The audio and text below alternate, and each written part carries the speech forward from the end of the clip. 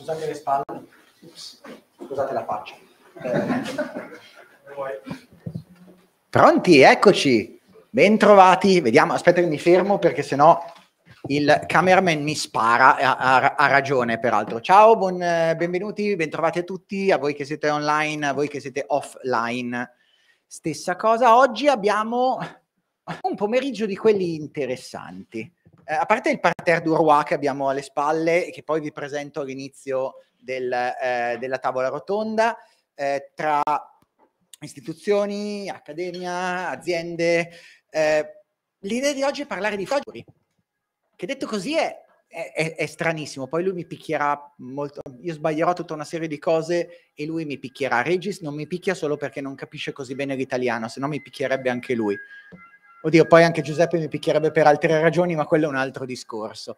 Dicevo, parlare di futuri eh, significa eh, affrontare un tema che alcune industrie hanno già iniziato a sfruttare, quello del foresight, cercando di capire assieme oggi come queste stesse metodologie possono diventare utili, se non indispensabili, a seconda del vostro punto di vista, all'interno del mondo della privacy e della data protection.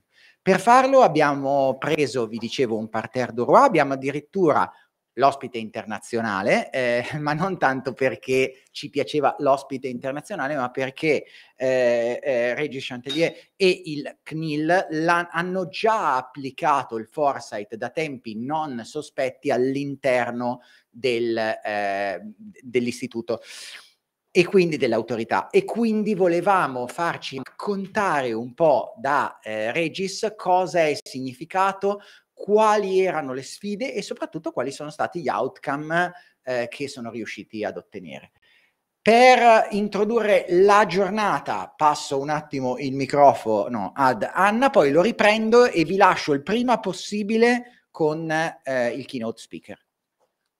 Grazie Matteo, veramente tre minuti. Anch'io ringrazio i nostri relatori eh, che rappresentano il mondo accademico, istituzionale, del mercato, sono tutte persone che poi saranno presentate e comprenderete anche il livello, lo spessore dei contenuti che potranno trasferire. Eh, perché siamo qui? Eh, noi eh, abbiamo iniziato il percorso che ci ha portato ad individuare questo contenuto, il foresight, che eh, diciamo oggi eh, saprete che cos'è e noi abbiamo iniziato un anno fa, per fortuna, con un gruppo di eh, persone che eh, ovviamente oggi sono dei miei dei colleghi fantastici che ho imparato a conoscere e che con me hanno iniziato questo percorso. Eh, ovviamente eh, saluto, ringrazio Giuseppe Vaciago e Matteo che hanno eh, diciamo, messo le basi per questo viaggio sul quale poi sono entrati eh, Gabriele Rizzo, il professor Rizzo che tra un po' sentirete, eh, Stefano Leucci, Alessandro Ortalda, i ragazzi eh, che eh, ovviamente ci aiutano tutti i giorni, Umberto Giannetti, Michele Perlizzi e Francesca Pesce. Io ringrazio tutti eh, perché siamo qui per questo metodo, perché noi volevamo essere un po' distintivi, volevamo comprendere come in questo mondo di cambiamenti era possibile avere un approccio non reattivo, ma come abbiamo anche scritto, reattivo, proattivo, cioè cercare di intercettare quelli che sono i temi del futuro, dei futuri, vedrete ne sono di più, eh, e su questo diciamo altre, eh, altre eh, entità e istituzioni importanti hanno già iniziato ad adottare questa metodologia. Una fra tutte, l'European Data Protection Supervisor, che ha eh, lanciato il programma Tech Sonar e eh, che ha sostanzialmente eh, individuato attraverso questa metodologia eh, come intercettare i trend tecnologici per poter adeguare le normative, che eh, oggi tra l'altro in un altro bellissimo panel è emerso essere fondamentale. Pensate se all'artificial intelligence generativa eh, che si nutre di dati eh, e che quindi diciamo fa web scraping, esattamente quello che oggi invece eh, viene indicato come il male di tutti i mali. E quindi se avessimo eh, saputo un po' prima, ecco, questo è un tema eh, importante. Poi abbiamo l'ENISA che nel 2022 ha organizzato la prima edizione del Third Hunt 2030, che è eh, sostanzialmente la prima conferenza sulla cyber security. Questo è un metodo che viene usato molto anche in termini di difesa dai governi eh, poi ce lo dirà Gabriele Rizzo. Eh, e quindi eh, cosa vogliamo fare? Vogliamo trasferirvi lo stesso entusiasmo che abbiamo avuto noi e che eh, continua ad esserci, sperando che siate sempre di più a seguirci perché è veramente qualcosa di importante per i nostri futuri. Vedete che adesso parlo al plurale. Abbiamo circa un'ora per questa bellissima dialettica e thank you Regis again for accepting our invitation e passo la parola al relatore e al moderatore. Quindi un sacco di cose da vedere. Partendo dall'inizio, ci siamo detti, eh, se vogliamo parlare di foresight abbiamo bisogno prima di tutto di mettere un fattore comune. Abbiamo, abbiamo due ospiti oggi che metteranno un po' a fattore comune eh, una base solida per capire che cosa sta succedendo. Abbiamo eh, Gabriele, professor Rizzo, eh, un amico, ormai è diventato un amico da, da, il tempo, da, la prima volta che ci siamo incontrati, che hai dovuto spiegarci che cos'era il foresight, è stato divertente. È una delle volte in cui credo eh, sia stato più complesso per lui tenere a bada le persone che facevano domande, mentre invece farei però iniziare con il keynote speech, eh, Regis, Regis Chantelier è Innovation Foresight PM del CNIL. Eh, la, aspettate che lo leggo perché così almeno non dico troppe cavolate, perché è membro del LINC, che è il laboratorio di innovazione e previsione all'interno della CNIL, come dovremmo dire, eh, che è un progetto triplice che vede un lato con un media online, uno spazio fisico e una piattaforma eh, di ricerca e di sperimentazione. A lui abbiamo chiesto due cose, nessuna delle due particolarmente semplice. La prima è di spiegarci in parole semplici come, come può vedere, come può essere il foresight eh, e secondo come lo hanno applicato già direttamente all'interno della CNIL in un, eh, in un contesto di privacy e di data protection. Quindi lascio a lui la parola, l'intervento sarà in inglese, se avete problemi con l'inglese di qualcuno prendete il vostro vicino di banco e fatevi tradurre. Va bene? Grazie mille intanto di aver accettato Regis e a te il palco. Thank you. And uh, sorry, I don't speak Italian, so I speak in, in English. Uh, Okay, just to, okay. So I am Marie Chatelier, Innovation and Foresight, Foresight Project Manager at CNIL, and in the link, Innovation Laboratory, which is a department at, at the CNIL uh, in the direction of uh, technology and innovation. And uh, this is our main goal are to explore, to experiment, and to discuss and uh, today I'm going to explain you more the exploration part, but uh, you have to understand that we try to experiment. We, are, we, are, we work with engineers, and every time we have some new technologies, some new devices, we try to use them a lot so that we can understand it, understand it and, and with, uh, with uh, engineers. And to discuss, meaning that we try to have a lot of contacts with all the ecosystems of innovation, uh, university, uh, companies, startups, etc. And today with you, uh, and we try to not to be just in the CNIL, but also outside of the CNIL.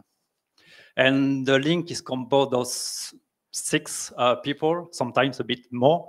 And we are three working in humanities and foresight. We have two IT engineers and one designer, two, sometimes two, because one of the main uh, uh, success we had at, uh, at the link was to introduce the design at CNIL. It was part of Foresight at the beginning. We started in 2015, and now we have published a lot on this topic, and we have uh, recruited two designers, and they worked a lot with the lawyers and with engineers, and it's part of the success we had uh, on the process.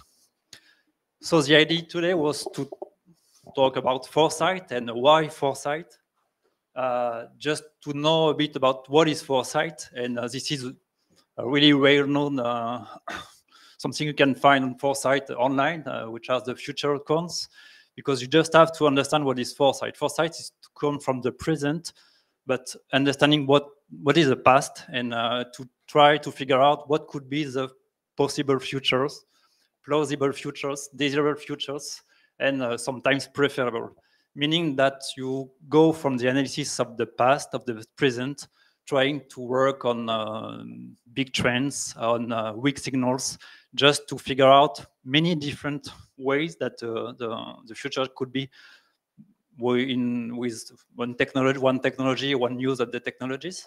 And main idea is that you don't try to predict the future. Uh, strategic foresight does not attempt to offer definitive answers about what the future will hold, uh, and this is from the OECD. Uh, there are no hard facts about the future.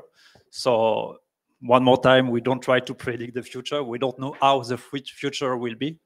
And the objective is not to get the right, the future right, but just to get prepared to it. And that's why it's important to, to work with foresight, even more in data protection, I think, uh, because, and I tell you just after, but uh, why, what do we use to do this? We, we have decided for years now to, to use design fiction, uh, because when you talk about foresight, in general, it's like foresight scenarios.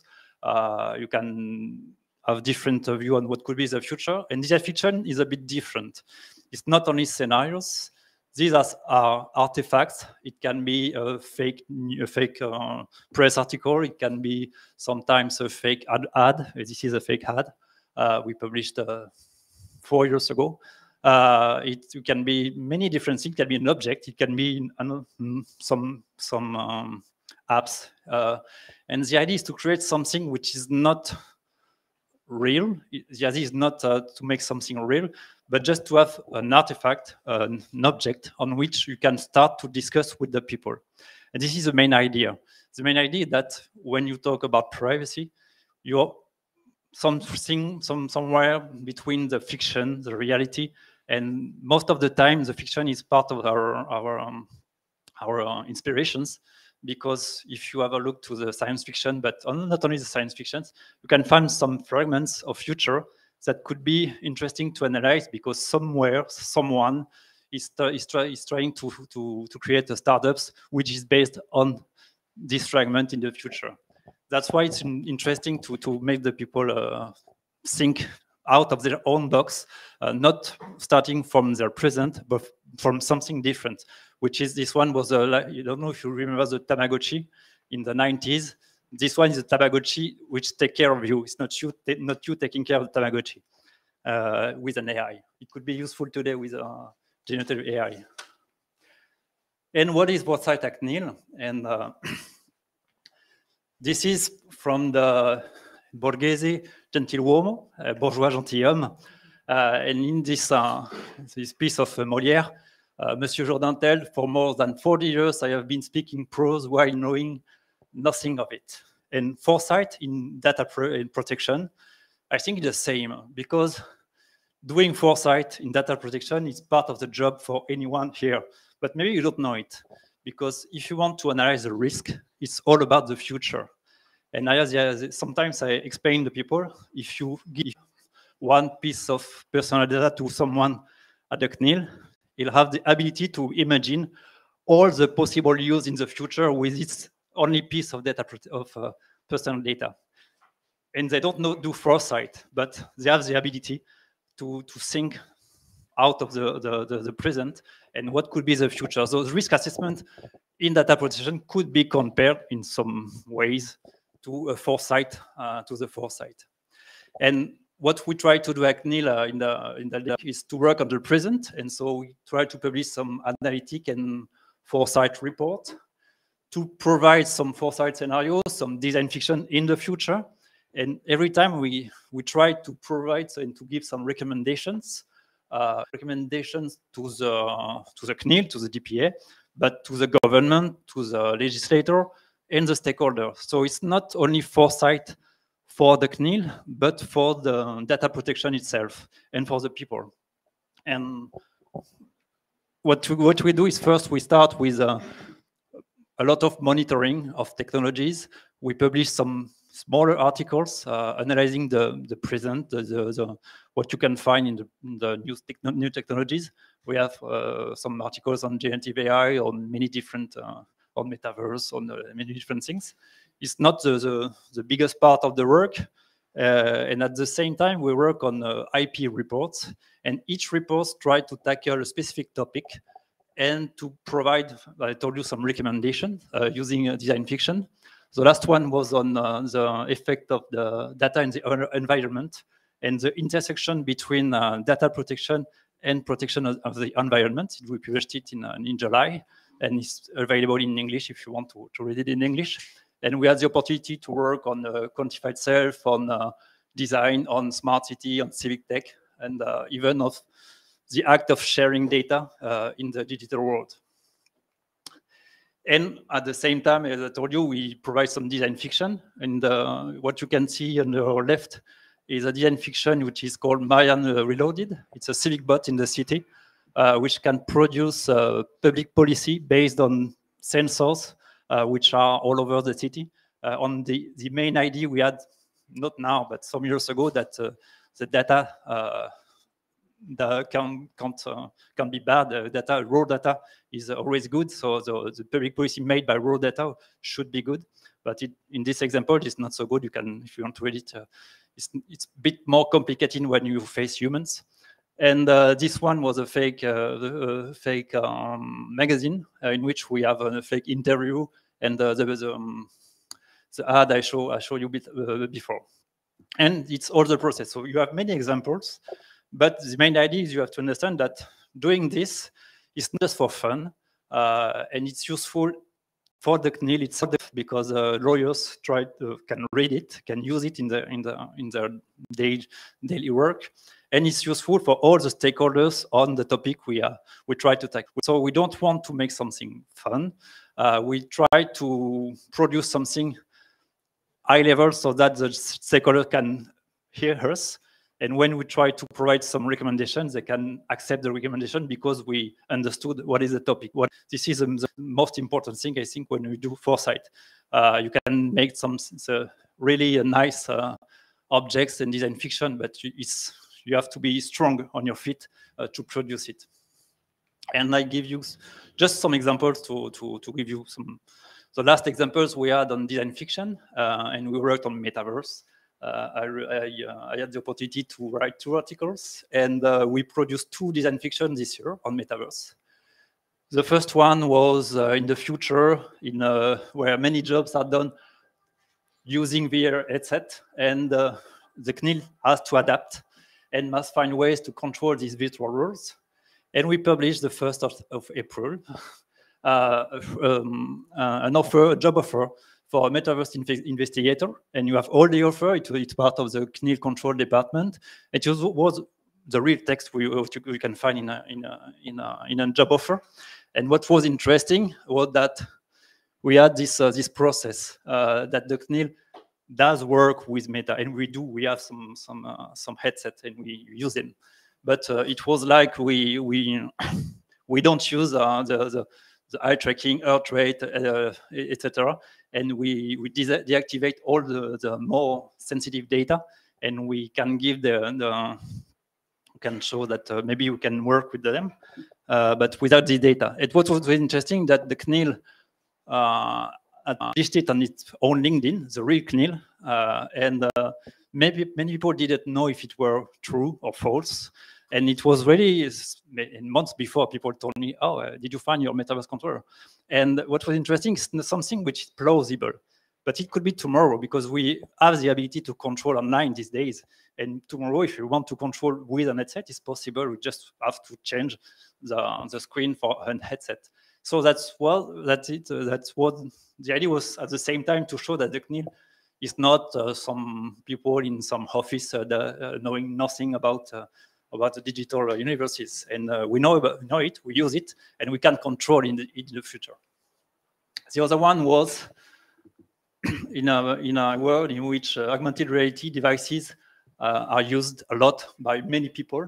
And you have two different kinds of uh, devices. Some are low cost, and uh, you have to accept target advertising to, to, to have access to the low cost device. Some other are a bit premium, and you have access like uh, your whole MacBook where you didn't have any problem with spam and with uh, with virus. It was more or the idea. And some people, some hackers, have created the AR block. It can make you uh, see a different world. Uh, and the AR block in the future, when we are going to all to use this headset, can be useful just not to have all this load of information so that you can you can see anymore the, the real world. But at the same time, it's it's a use it's used as a proxy because these headsets can receive data, but they can emit data, and this this uh, this um, hardwares can be useful in the future. And for sure, in the future, uh, we talked about it uh, yesterday at night. Maybe the augmented reality is the next big thing, much more than the VR. And we have to get prepared on the world in which all the, the digital life is around ourselves in the real life. And uh, we have to know that we have to find some ways to let, let the people live in a, a world with less load of in information. And the last one and, uh, uh, is about uh, data and the environment. Uh, this, is, this one was tricky uh, because I had the, the challenge to work on why should we work on the environment when we are a DPA and I try to find what are the intersection, uh, what could be done. And if you read the, the, the, the paper, we see that there are many, many um, principles of the, the GDPR that can be useful, like the minimization, like uh, the, um, the fact that you don't have to, to, to keep the data uh, as long as you want, etc. You have many, many different uh, things which are interesting. At the same time, we want to have more cryptography, we want to have more data accessible. So it's not really nice in terms of uh, of uh, the, um, the, the footprint of the systems. But at the same time, we had created before uh, something which was a world in which our lives are punctuated by data quotas. But maybe in the future, we have the ability to to to to know what are the data we use and to have some quotas. But uh, the quotas can, can be done without control and without devices. And in this fiction, which is called Control Visit, only in French, this one, in uh, climatopie.fr, which is a dedicated website. Uh, in this one, you have these energy quotas, and sometimes you can receive a visit from the ecological police who can go at your door to knock on your door and to ask you, what did you do last night? why your your consumption of last night was so high, and you have to explain us. And uh, in this one, if you go to the end, it's uh, it's like a, an American movie with a, an happy. But it means that we have to know the, that in the future, and it's part of the of the of this uh, report, we have all the the all the, the technology is there. We have been now we all use on a Citymapper uh, Google Maps, and we have all like in, we know how to accept to to to go in the city uh, with our uh, our phone. We have many projects in France to to uh, to process data. Uh, for example, we have a project by the uh, the tax about the tax, which can crawl the social media to know using AI to know if your life online is the same as your life offline or IRL. And if they find a difference, maybe they would go to you to control if you have paid your, your taxes. It's, in my opinion, it's a bit crazy, uh, but it's an experimentation, meaning that in the future, we have to think about our liberties because we have to all change the way we live we have all the, the ways to, to control every single uh, digital footprint, but we have to go to do this with the people, not against the people. We had some example in France uh, showing that it's not so easy to work on these subtopics. And the main idea in terms of uh, freedoms is that we have to, to use transparency and to work with the citizen to create some new, uh, some new um, some new systems accepted by all, by all the people, knowing that we have accepted to to give some liberties. Um, for example, when you go on the road, you have to uh, limit. Uh, you can you can go uh, on, full uh, full speed. you have to use your, your, your, I don't remember the name, ceinture de sécurité. Uh, and even in in in terms of health, we had to to deal with our liberties when the COVID. But in the future, we have to do this for a long time. So that's why it's interesting that uh, the CNIL, we know that we are going to have some low project going, going to the CNIL, and we have to get prepared on what is the personality, how could it be used, and what is experimentation. Because we know that uh, experimentation means that you have to assess the experimentation to know if it's a good experimentation or no. And we had the case with facial recognition, and sometimes experimentation is just the first step of the, of the market, and they don't want to, to turn the, to switch off the system after the experimentation. So that's why in development and in other, other fields, we have to, to get prepared to it. These are the examples. And if you want to read more, we published an article with uh, Stefano and uh, with uh, Ariana Rossi uh, on uh, using speculative design in uh, data protection. So you have the link and you can go and know more about all the, the way we can use it in different DPAs. Thank you. Thank you.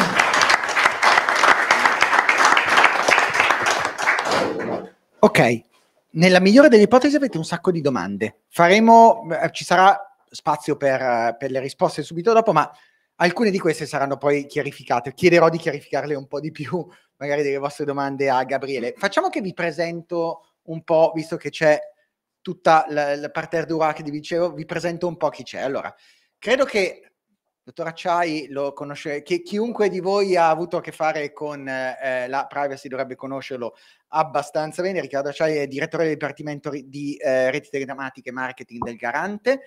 Abbiamo eh, Ada, Ada Fiaschi, responsabile privacy and data protection di Ita Airways, quindi ancora una volta DPO. Non DPO, responsabile data privacy. No, i DPO ah, sono sì. seduti ancora a fianco fa un po' impressione averlo a fianco, vero? Eh, cioè.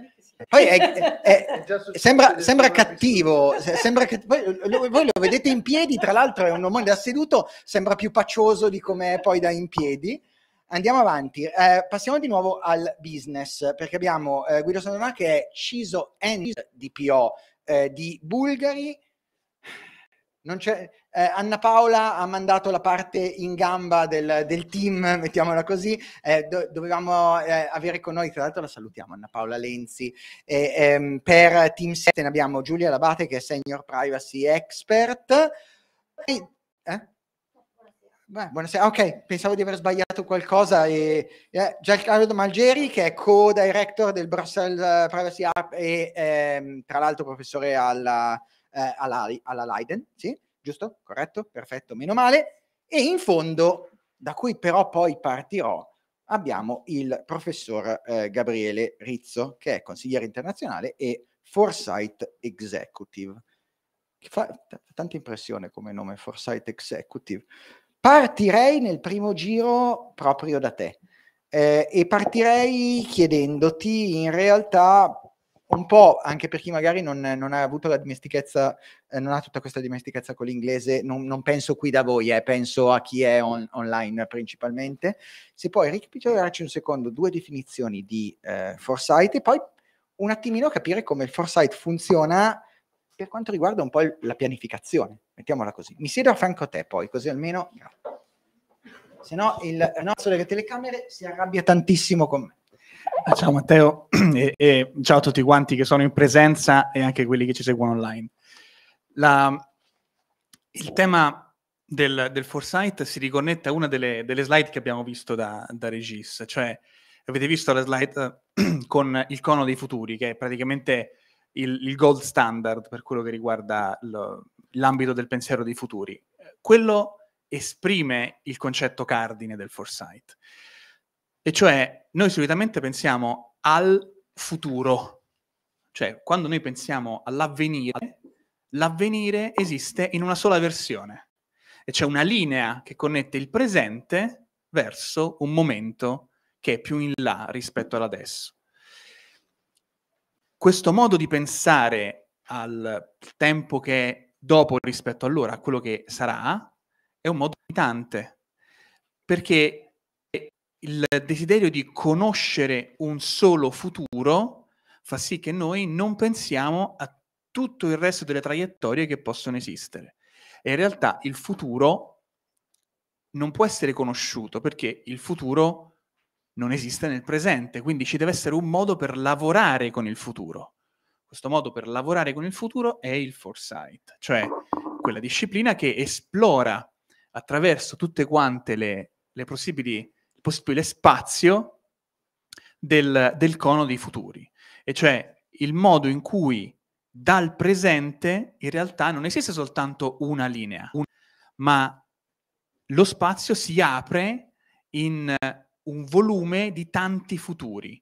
Alcuni di questi futuri sono possibili, cioè sono permessi dalle leggi della natura e, e poco di più, alcuni sono, pro, ehm, sono plausibili, cioè sono più eh, desiderabili sotto un certo punto di vista, eh, alcuni futuri sono eh, i futuri probabili, anche se probabili è una parolaccia in, in foresight, noi non parliamo di futuri probabili nel senso che sono eh, che avverranno più di frequente o con una maggiore evidenza rispetto agli altri, ma sono quelli che noi immaginiamo come quelli più facili, quelli che eh, sono quelli che ci aspettiamo, sono la traiettoria verso il futuro dal presente, la nostra versione eh, 2040 del 2020 e poi ci sono i futuri eh, preferibili, cioè quelli dove veramente noi vogliamo andarci a direzionare. Ma in un, in un attimo, nell'ultima frase, il tema è proprio che ci sono tanti futuri e l'obiettivo del foresight non è conoscerli,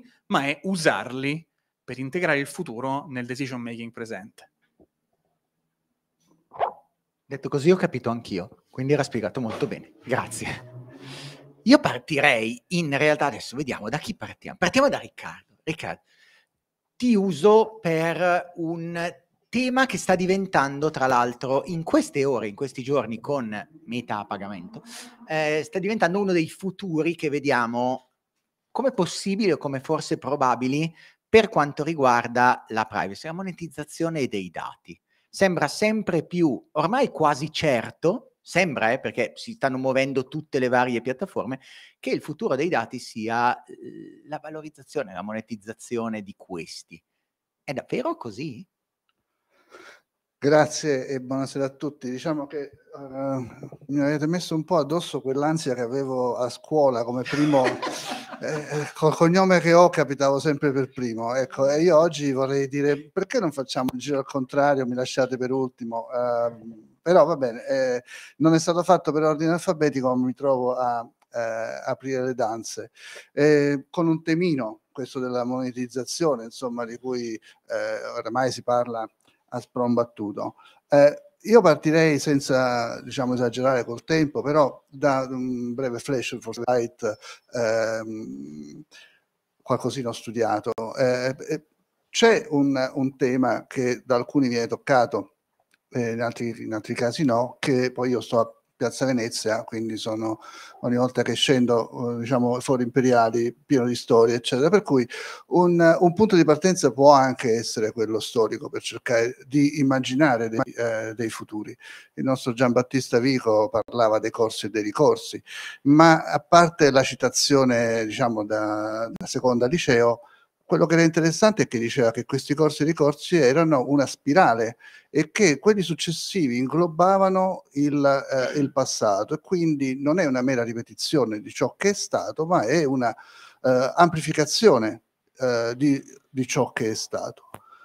Eh, partendo da questa piccola cosa, eh, monetizzazione, siamo in questa fase in cui eh, tutti ne parlano e sembra essere appunto diventato il trend topic del, dell'ultimo periodo.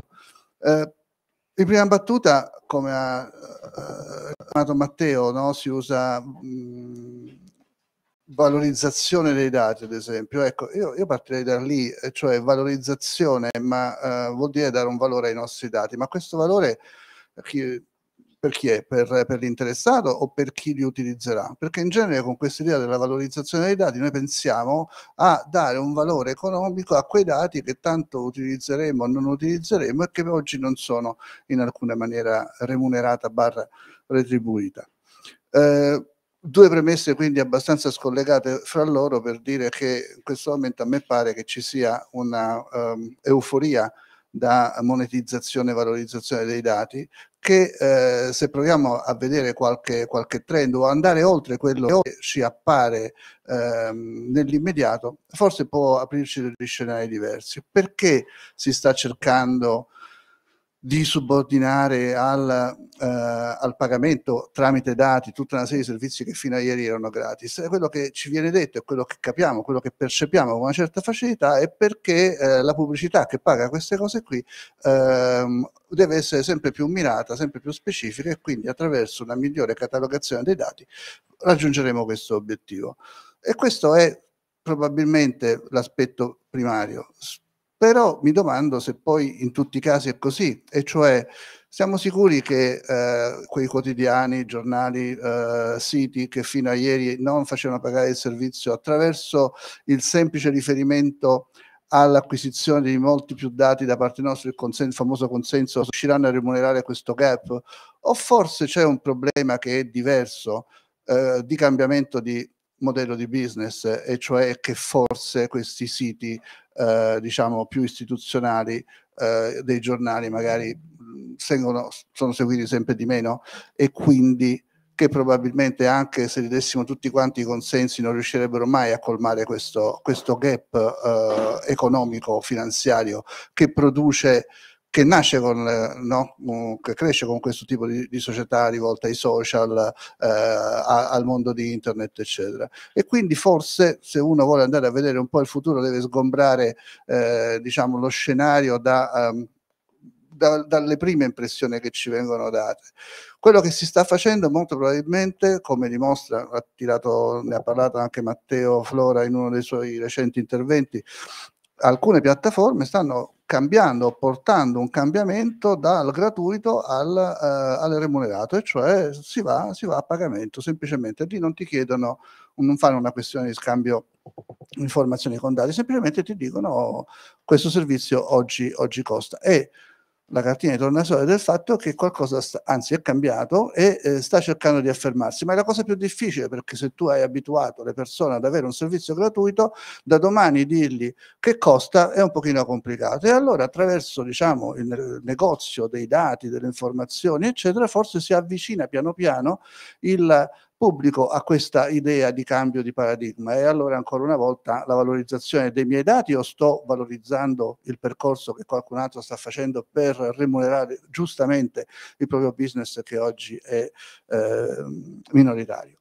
Eh, quali dati poi sono interessanti? Se ci pensiamo, eh, sì è vero, la pubblicità è sempre più mirata, ehm, però ecco, mi faccio una domanda sciocca, eh, se io vendo palline da golf eh, è più conveniente per me avere 100.000 consensi di persone che guardano forse la televisione i programmi di golf o forse fare un, un accordo con eh, i vari centri golfistici e mandare la pubblicità mirata ai loro clienti, magari attraverso anche il, eh, il centro golfistico, così non devo neanche avere consensi particolari, eccetera. Voglio dire che sotto queste mh, cose che ci vengono dette, forse ci sono delle elaborazioni ancora che devono uh, essere uh, portate, portate, a compimento. Il rischio però qual è? Che accanto a qualche informazione in più rispetto al mio amore per il golf, uh, poi vengano fuori invece delle informazioni che quelle sicuramente stanno a cuore a qualcuno. C'è un esempio un po' banale, eh, vado alla conclusione. C'è un esempio un po' banale che eh, spesso mi, mi, trovo a fare. Il mio codice fiscale che tipo di valore potrà avere? Pochi, pochi centesimi. Eh, però questo codice fiscale, se utilizzato ad esempio come punto di riferimento per fare un contratto assicurativo della mia automobile, ha una differenza di qualche centinaio di euro, perché se io risiedo a, ad Aosta, pago l'assicurazione per il furto dell'auto molto di meno che se eh, figuro essere residente nella napoletano, salernitano, eccetera. Che cosa succederebbe se il, questo dato del mio codice postale fosse utilizzato ai fini di assicurazione sanitaria? Probabilmente se è legato a certe zone dove c'è un'alta incidenza dei tumori, oh, probabilmente mi farebbero pagare un premio molto più alto per l'assicurazione. E fino a qua ho parlato soltanto di, di denaro, di soldi, quindi di valorizzazione che non è per me, è per qualcun altro, eh, perché queste sono le informazioni che, che stanno a cuore. E guardando qualche trend vediamo il nostro welfare, a cui siamo tanto abituati quasi da non considerarlo più, che mostra diciamo, affaticamenti nel corso degli anni. Possiamo vedere altri paesi dove il welfare non c'è e studiare quanto sono importanti e determinanti le assicurazioni in questi, eh, in questi paesi e forse come scenario futuro possiamo eh, provare a immaginare che cosa succederebbe se attraverso lo studio del mio codice postale, ma meglio ancora dei miei dati sulla salute o dei miei dati genetici, domani dovessi andare necessariamente, perché è l'unica possibilità che ho, a fare un contratto assicurativo per tutelare la mia salute. Io ci starei molto attento a questa deriva sulla monetizzazione barra valorizzazione dei dati. Sì, sono d'accordo. La cosa che a me aveva un po' stupito è che finalmente iniziamo ad avere un metro con i social network che eh, diventano o gratuiti dando dati o a pagamento, iniziamo ad avere una, un minimo di valorizzazione. Cioè abbiamo capito che da un network all'altro quei dati per, per quell'azienda valgono 150 euro mal contati, che è un punto Perdone, interessante. Se, se, se, esplori, e lo fai, eh, il, il, web negli ultimi dieci anni, da qualche parte ci sono sondaggi, analisi, eccetera, ogni tanto troviamo l'articolo del, del, del giornale online che dice i, dati, i tuoi dati valgono 8 dollari, eccetera. E cioè questo giochino è sempre stato fatto. Il problema è che se io oggi scopro che certi miei dati hanno un valore, messi in quel circuito che dicevo prima e soprattutto analizzati da chi ha un altro interesse rispetto al mio, che è quello di avere o non avere la pubblicità o usare o non usare il social, ha un valore che in qualche caso, se veramente questo paradigma un po' eh, futurista ma non, come dire, eh, non eccessivo probabilmente fosse realtà, a volte potrebbe avere anche la differenza fra la vita e la morte, perché se qualcuno non ti assicura e quello è il tuo unico modo per poterti curare, beh, insomma, magari io sarò contento di aver messo in tasca i miei 10 euro, però poi domani anni ho un problema eh, sicuramente molto più grande. Allora, un po' che salto a destra e a sinistra, allora così almeno visto che mi dite... Vado, lui sa già, l'ho, l'ho, avvisato, vedete che è arrivato il sorrisino, sai che arriva la domanda. Allora, eh, Giancarlo, eh, Gianclaudio Malgeri, una delle cose che mi sono detto quando all'inizio parlavamo di futuri è che la previsione dei futuri è estremamente interessante quando devo andare a vedere un'analisi di rischi o quando devo scrivere anche molto più terra terra, devo scrivere una DPA. Ma aiuta o non aiuta perché a questo punto devi guardarti ancora più intorno? Cosa, cosa ne pensi? Ah, ti rubo questo, ti passo questo. Eh, grazie mille, grazie per l'invito e insomma è, è per me molto molto interessante questa eh, navigare in aree così interdisciplinari. E ehm, quindi diciamo appunto il riferimento sull'impatto, sulla, sull'analisi dell'impatto è una delle tante possibili uh, applicazioni pratiche penso del foresight, mi è piaciuto molto il riferimento che ha fatto Regis a, al fatto che eh, la data protection già ehm, diciamo, fa qualcosa senza sapere che cosa sia, senza sapere che è foresight e di fatto eh, l'analisi dell'impatto, l'analisi degli impatti è qualcosa che esiste già a livello di previsione, seppur non con le metodologie del foresight o non sempre, ma che è già lì. Um, Diciamo che uh, parliamo di uh, analisi degli, degli, impatti al plurale, perché non abbiamo più solo quella dell'articolo 35 del GDPR, ma abbiamo l'articolo 34 del DSA, abbiamo il Fundamental Rights Impact Assessment proposto da, nella, uh, nelle AI Act e diciamo in accademia eh, abbiamo provato a spingere molto il trilogo su, questo, su questa norma, abbiamo portato avanti una, una, una lettera firma, cofirmata da 150 accademici per andare avanti col Fundamental Rights Impact Assessment perché a quanto pare il trilogo non ha eh, molta volontà a, andare avanti nelle IAC sul Fundamental Rights Impact Assessment. Tutto ciò, tutti questi diciamo eh, impatti, analisi di impatto, sono, uno, sono, i più grandi esercizi di foresight che già noi eh, facciamo, eh, diciamo, nella pratica, ma anche e soprattutto nella teoria. È uno di quei temi, perché solitamente c'è un po' un dualismo no? tra eh, teoria e pratica, ma questo è uno di quei temi, secondo me, che tiene tantissimo impegnati, tanto la teoria, tanto la pratica, e soprattutto perché um, già quando valutiamo uh, i rischi, dobbiamo fare tutta un'analisi di expected, desired, plausible, possible, eccetera. e ehm, molto spesso il problema è che il contenuto de- del rischio ci è ignoto. Mi spiego meglio. Rischio ha diritti fondamentali. Che cos'è? Cosa vuol dire? Come riusciamo a quantificare qualcosa che è intrinsecamente inquantificabile? Questo è il problema, perché eh, il diritto ci ha insegnato a quantificare beni immateriali. Mm. Quindi noi, maggiormente chi viene da una tradizione civilistica, diciamo, ehm, sappiamo che possiamo quantificare il danno alla salute e quindi i rischi alla salute in qualche modo li quantifichiamo. Perché? Perché c'è di mezzo la medicina che in qualche modo è una scienza misurabile.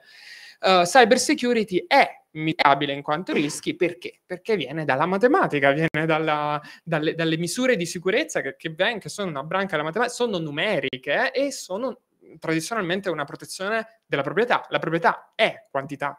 Ma come facciamo a quantificare e quindi poi a prevedere gli impatti su altri tipi di diritti fondamentali?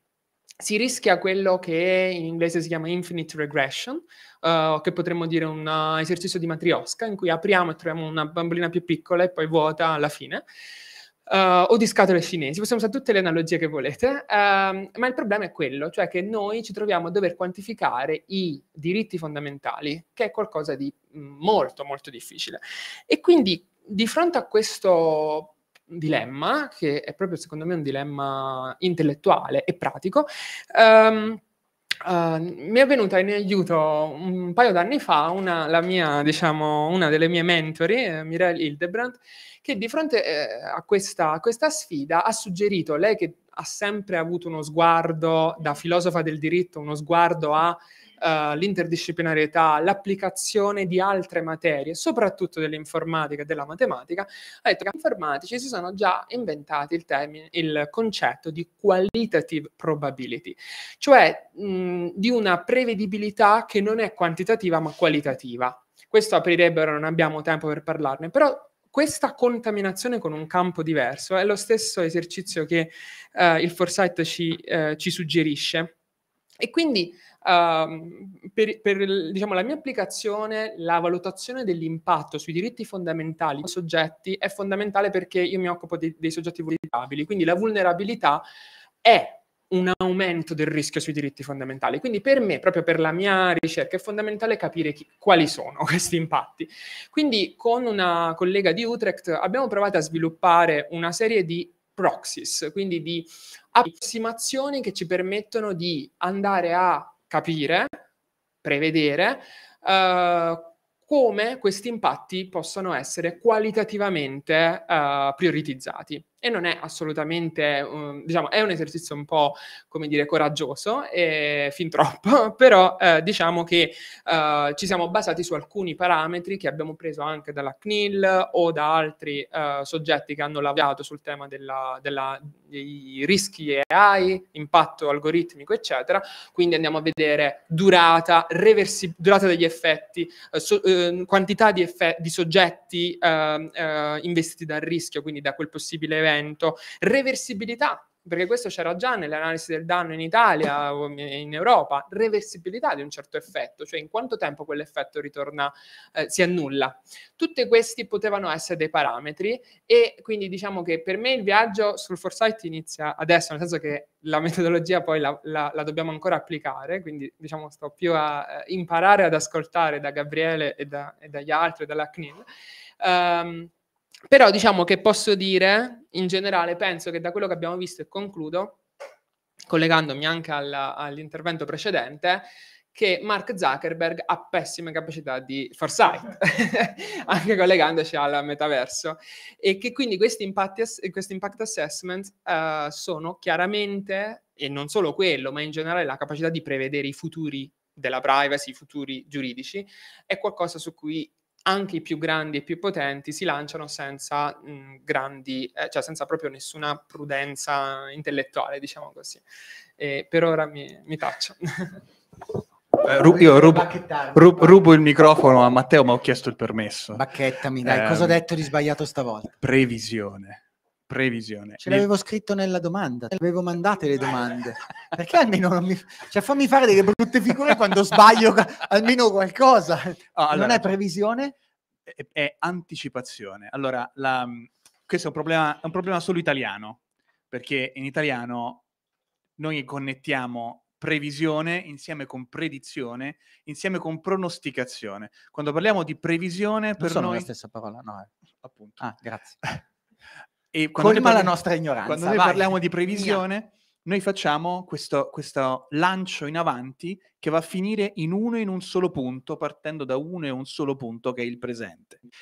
Invece, cu- il modo in cui, diciamo, usiamo previsione poi nel- nell'ambito del, del campo, che è essenzialmente in inglese, è nel senso di anticipare, cioè a vedere in anticipo. Allora, quindi aprire quella traiettoria, quella singola linea che invece è la predizione, la pianificazione, aprirla in questo volume del cono dei futuri.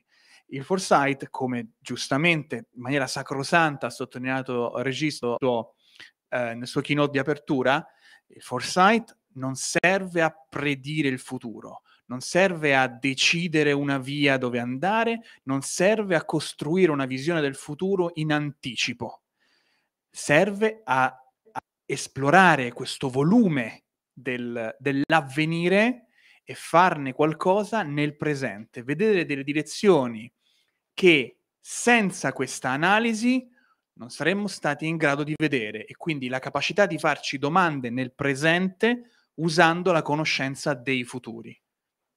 Quindi Zuckerberg non era un pessimo, eh, futu- era, è un pessimo futurologo, ma non un pessimo futuro. Un'altra delle cose che potete fare per far arrabbiare tantissimo gli esperti di foresight è chiamarli Ma futurologi. tantissimo, ma tantissimo. Si arrabbiano tantissimo, vero? Ne sappiamo qualcosa dell'intervista, vero Matteo? Ne sappiamo qualcosa, sì. C'è un video di noi due dove ne parliamo di un'oretta, è abbastanza divertente.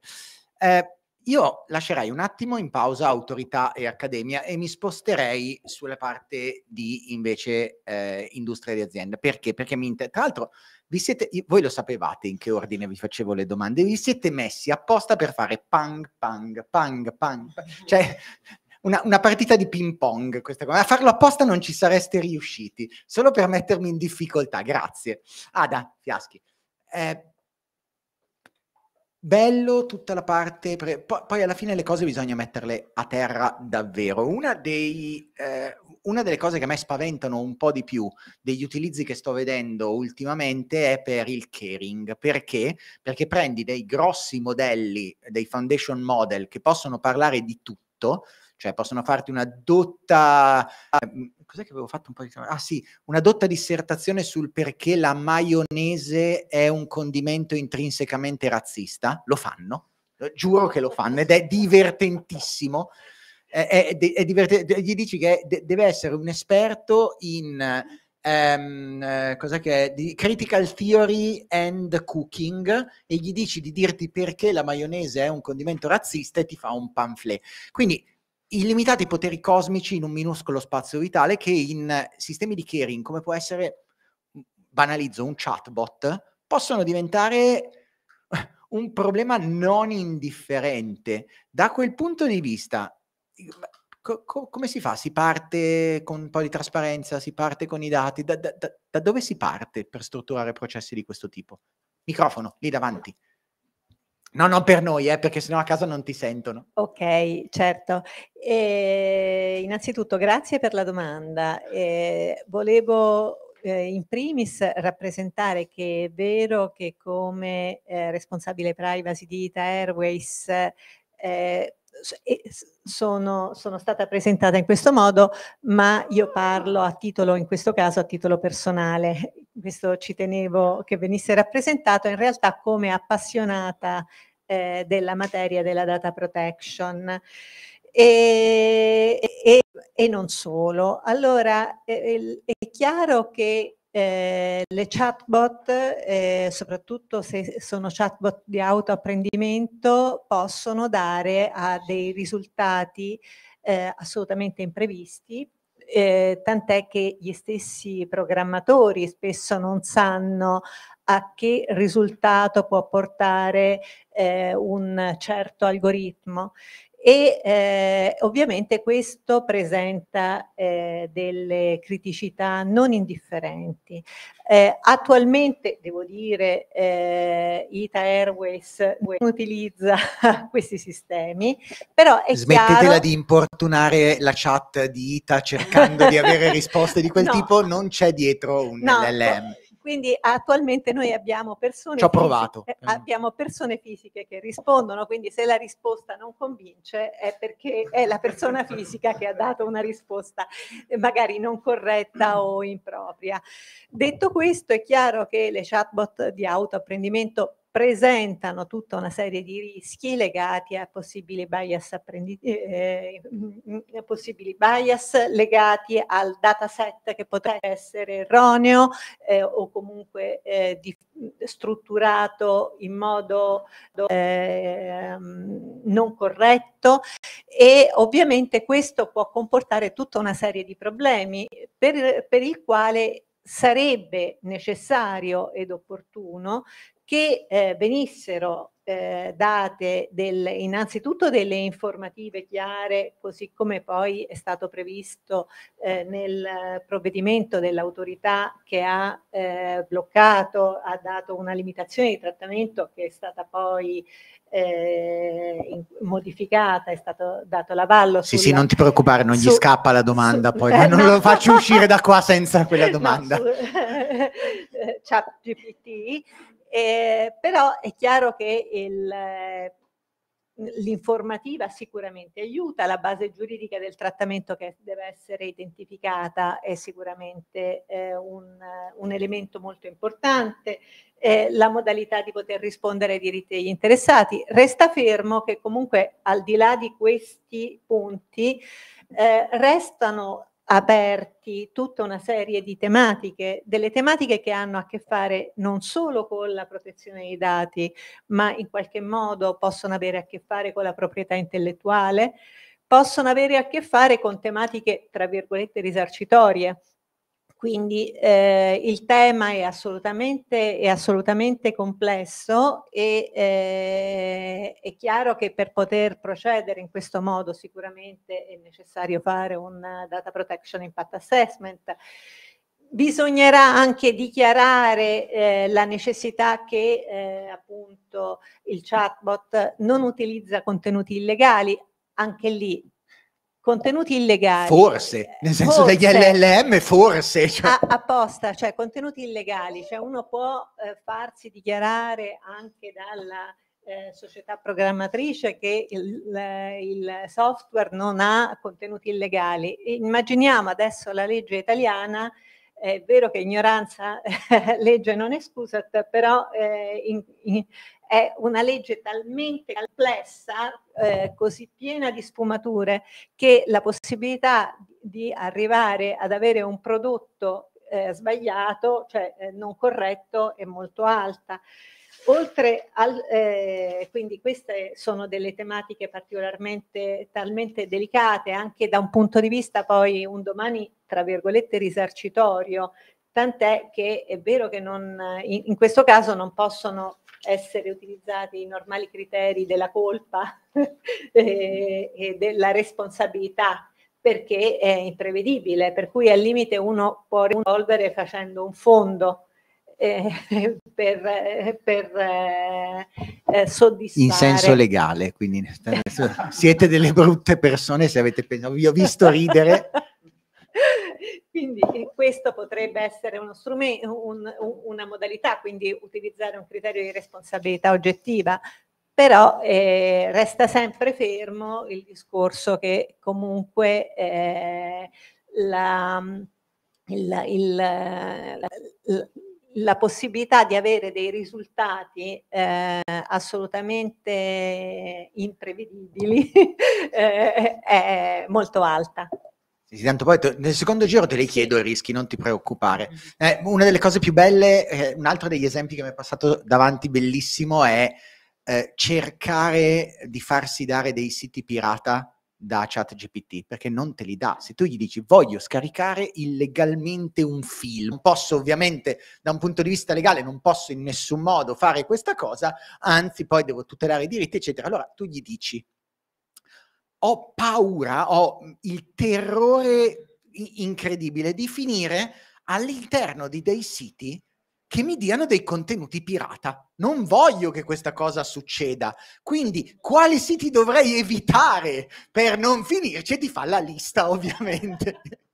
È divertente perché eh, non so se vi piace la fantascienza, nel, nel giro di fantascienza, nella, nella lunghissima monosaga di Asimov della fondazione, c'è tutta una, una parte da Yorobo in poi in cui c'è questa dottoressa Susan Calvin che è una robopsicologa cioè interpreta e capisce quello che all'epoca non si chiamava in, in, in Asimov si chiama il cervello positronico, che risponde alle tre leggi più una della robotica, eh, che però ogni tanto fa, fa, fa, degli errori grossolani, cioè sbaglia secondo... E allora lì deve tornare indietro. E adesso con il prompt engineering funziona nello stesso modo. Ho il terrore di questa cosa, cosa dovrei evitare? Eh, un'altra invece, eh, e passo a te Giulia invece, Giulia Abate. Eh, c'è un microfono, te lo passo qua davanti, tanto poi se mi deve picchiare lui perché sbaglio ancora qualcosa, mi ruba il mio, non è un problema.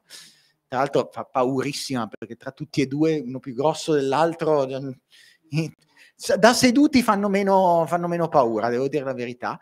Dicevo, un'altra delle cose dove ah, forse avremmo avuto bisogno un po' più di, di, di, foresight, un esercizio, sono il trasferimento dei dati. Hanno scritto, tra l'altro ha scritto un bell'articolo Giuseppe, vabbè, ma Giuseppe e, e Pellerzi, Pellerzi dove sei? Ecco. Ah, Michele, hanno scritto un bell'articolo proprio su, partendo da questa riflessione sul trasferimento dati. Lì è stato un delirio perché per chi come voi, come Team System, che è più gra- cos'è, più grande società di sviluppo software europea, credo, come numeri, no? Ok. Sì, non vorrei. No, nel senso, dovrebbe essere, se, se non è la prima, è la seconda, ok?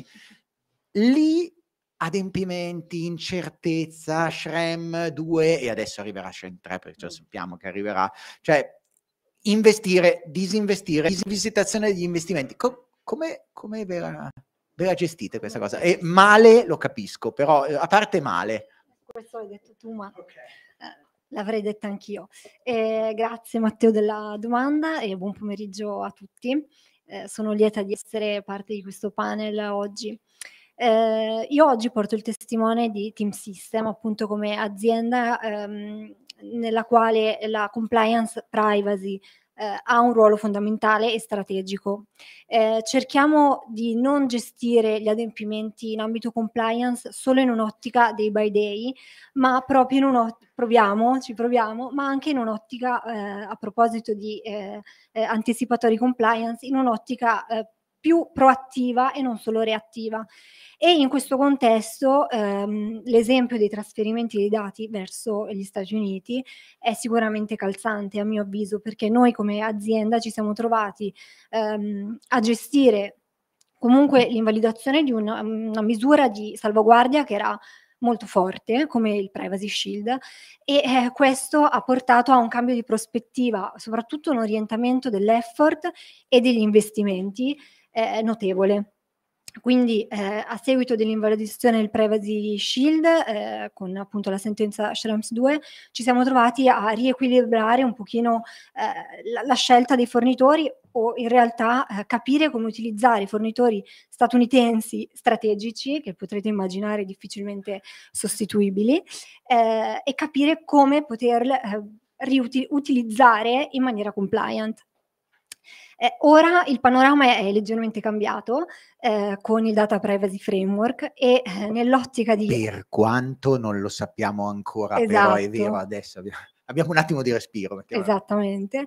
E proprio per questo, eh, diciamo, avendo imparato dalla lezione, non vorremmo basarci, basare le nostre scelte solo sul Data Privacy Framework, che abbiamo comunque accolto in maniera eh, ovviamente positiva perché dà un attimo di respiro, però ecco le valutazioni che abbiamo fatto in questi anni come possono essere le TIA, Transfer Impact Assessment o tutte le misure di sicurezza eh, supplementari sicuramente verranno tenute in considerazione e mantenute, anche perché come giustamente dicevi eh, la possibilità di una um, invalidazione anche del data privacy framework è, è, quanto più attuale e permettetemi una battuta in ottica proprio di foresight, eh, questo potrebbe accadere visto il trend a luglio e magari anche di venerdì, così da uh, occupare l'ufficio compliance, uh, impegnare l'ufficio compliance nel rifacimento di DPA. Eh. Quindi ecco, alla luce di questo sicuramente eh, abbiamo imparato la lezione. La crisis è quella cosa che arriva il venerdì prima di un lungo ponte, lo esatto, sappiamo, no? Esattamente.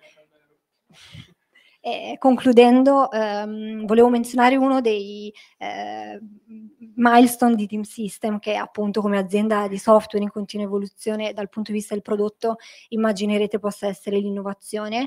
E mh, mm, a, a, tal proposito voglio darvi un, un, numero rispetto al dipartimento R&D che, eh, che lavora in Team System, ci sono circa 700 persone che eh, devono assorbire anche le nostre eh, linee guida compliance, quindi immaginerete insomma la, l'impatto. La gioia poi degli sviluppatori esatto. di ricevere da voi le linee guida compliance. Non vedono l'ora. Tra parentesi, ci sono davanti qua 3-4 posti. Se volete passarci davanti e sedervi, no problem, eh, non, non, ci offendiamo eh, minimamente. A parte lui che non può sedersi, no? non Pellerzi, ma dietro a Pellerzi, che tu, no, tu non puoi. Vabbè, niente, non mi ha visto. Eh, Guido, ti ho lasciato per ultimo, ma non per caso. Perché? Perché, allora, a parte per il doppio cappello e il doppio dei problemi, cioè CISO e DPO assieme, eh, voglio vedere chi ti dice no, ma così è più facile, ma manco per niente. No, ma più che altro perché eh, tu con Bulgari sei una realtà davvero internazionale, cioè nel senso re- realmente internazionale che si impatta su non solo GDPR, ma gli equivalenti, equivalentini, copie, brutte copie, eccetera, di tutto il mondo. L'impa- partendo dall'Axory che è il tuo, ma volendo anche spaziando fuori, qual è l'impatto ovviamente de- de- della normativa quando è poi a livello globale? E rubale il microfono, così. Sì, grazie. grazie intanto. Grazie, grazie a te Matteo per, per l'invito e per la, per la, domanda. Sì, in realtà um, il mondo del lusso è un mondo internazionale, è un mondo che è presente per, per, definizione, ha una, ha una, clientela che è distribuita nelle più importanti città del mondo, ovunque, una clientela che viaggia sia per piacere che per lavoro, è una clientela che poi interagisce anche durante questi viaggi con, con il brand.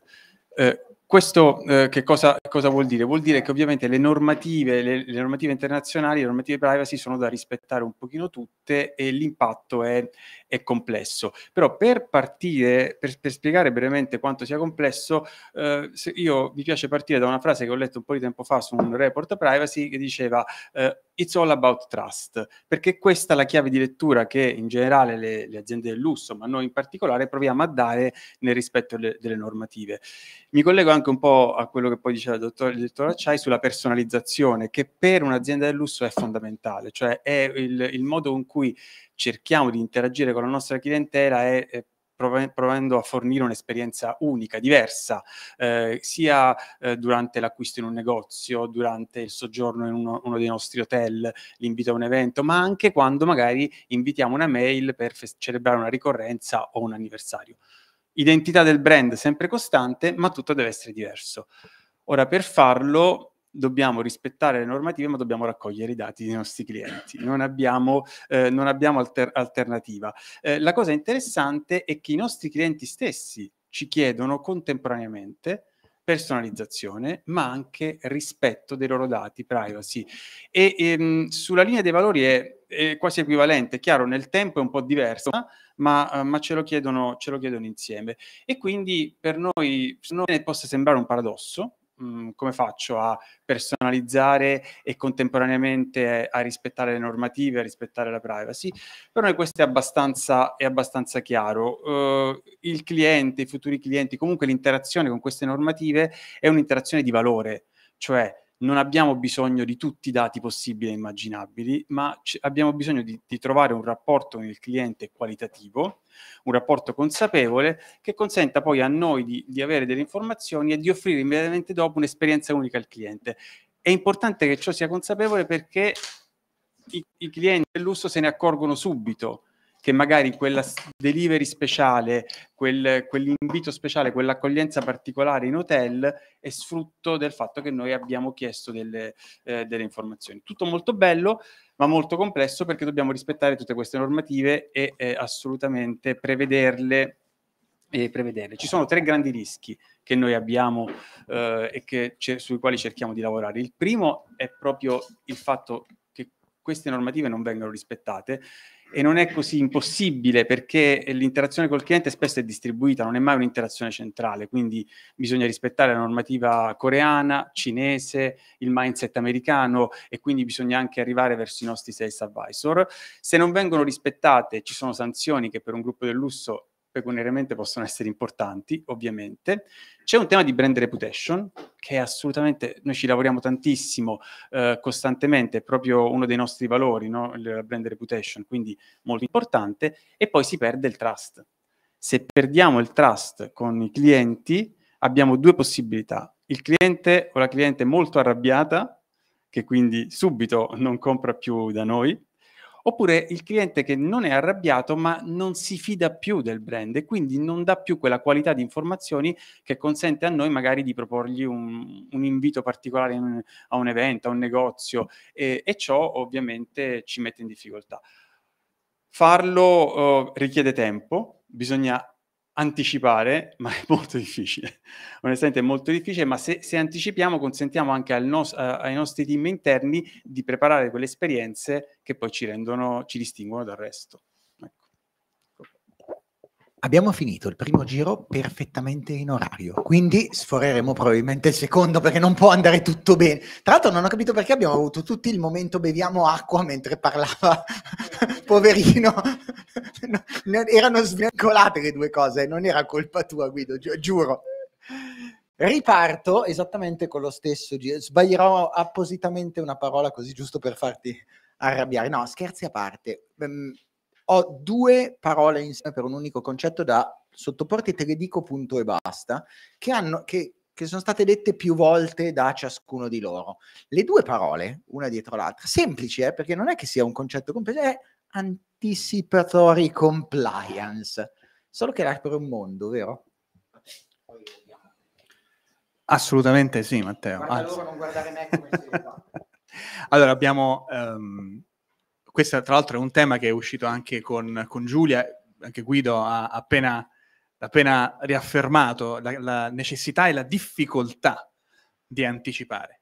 Allora, anticipatory compliance è un, un concetto che si basa su che cosa, cosa vuol dire anticipatory e questo arriva alla radice dei, dei sistemi anticipanti che eh, sono una disciplina che ha fondato Roberto Poli, che è anche possibile che ci stia seguendo, in questo caso Roberto ti saluto, scrive anche sul, sul nuovo Handbook of Foresight che uscirà alla fine del prossimo anno con Springer, ADV. Um, ehm, ma... no, ma il, dov'è, dov'è importantissima eh, questo tema? È nel concetto di anticipazione. L'anticipazione vuol dire... Vuol è una caratteristica dei sistemi complessi che hanno al loro interno questa capacità di fruttare di usare informazioni che non appartengono al qui e ora per decidere nel qui e ora. E allora la compliance è un, un tema che ha bisogno di assorbire questa capacità tipica dei sistemi complessi di utilizzare il futuro per cambiare, per decidere nel presente. E mh, mm, una, una, cosa importante del modo in cui questa cosa deve avvenire è qualcosa che diciamo, da un punto di vista un po' eh, profano, probabilmente vedo tipica della compliance, cioè i processi. Il futuro è un processo, non è un evento. Utilizzare il futuro è un processo, è qualcosa che si articola, che raggiunge dei momenti di, di focus, di nexus negli esercizi di foresight, nella costruzione eh, di alcune eh, domande che sono fondamentali, nella comprensione di alcune problematiche che vanno anticipate ed esplose nel presente affinché si possano prendere delle decisioni migliori al riguardo o affinché possiamo esplorare dei futuri che le riguardano in un modo in cui non avremmo potuto altrimenti senza questo tipo di esercizi, ma è qualcosa che si articola nel tempo, è qualcosa che avviene con un processo. Non è qualcosa che esiste in un esercizio di foresight e poi lo lasciamo stare, non è qualcosa che esiste lo facciamo un anno e poi non lo facciamo più. È qualcosa che nella sua versione matura e evoluta, se volete, in un modello di maturità, eh, questo è l'ideale, è qualcosa che esiste e che accompagna l'organizzazione attraverso il tempo e in questo caso appunto anche la compliance e specialmente la compliance, perché per natura de- del corpus giuridico è... Eh, qualcosa che, che, si, che si adatta spesso in maniera reattiva, come abbiamo visto. Questa caratteristica di essere anticipanti, di essere proattivi, è qualcosa che eh, rende l'utilizzo del futuro vivo, vero nel, nel, nel mondo della compliance. Grazie, così li lasciamo lì. Grazie mille. Ciao Riccardo, devo farti la domanda che, che chissà che...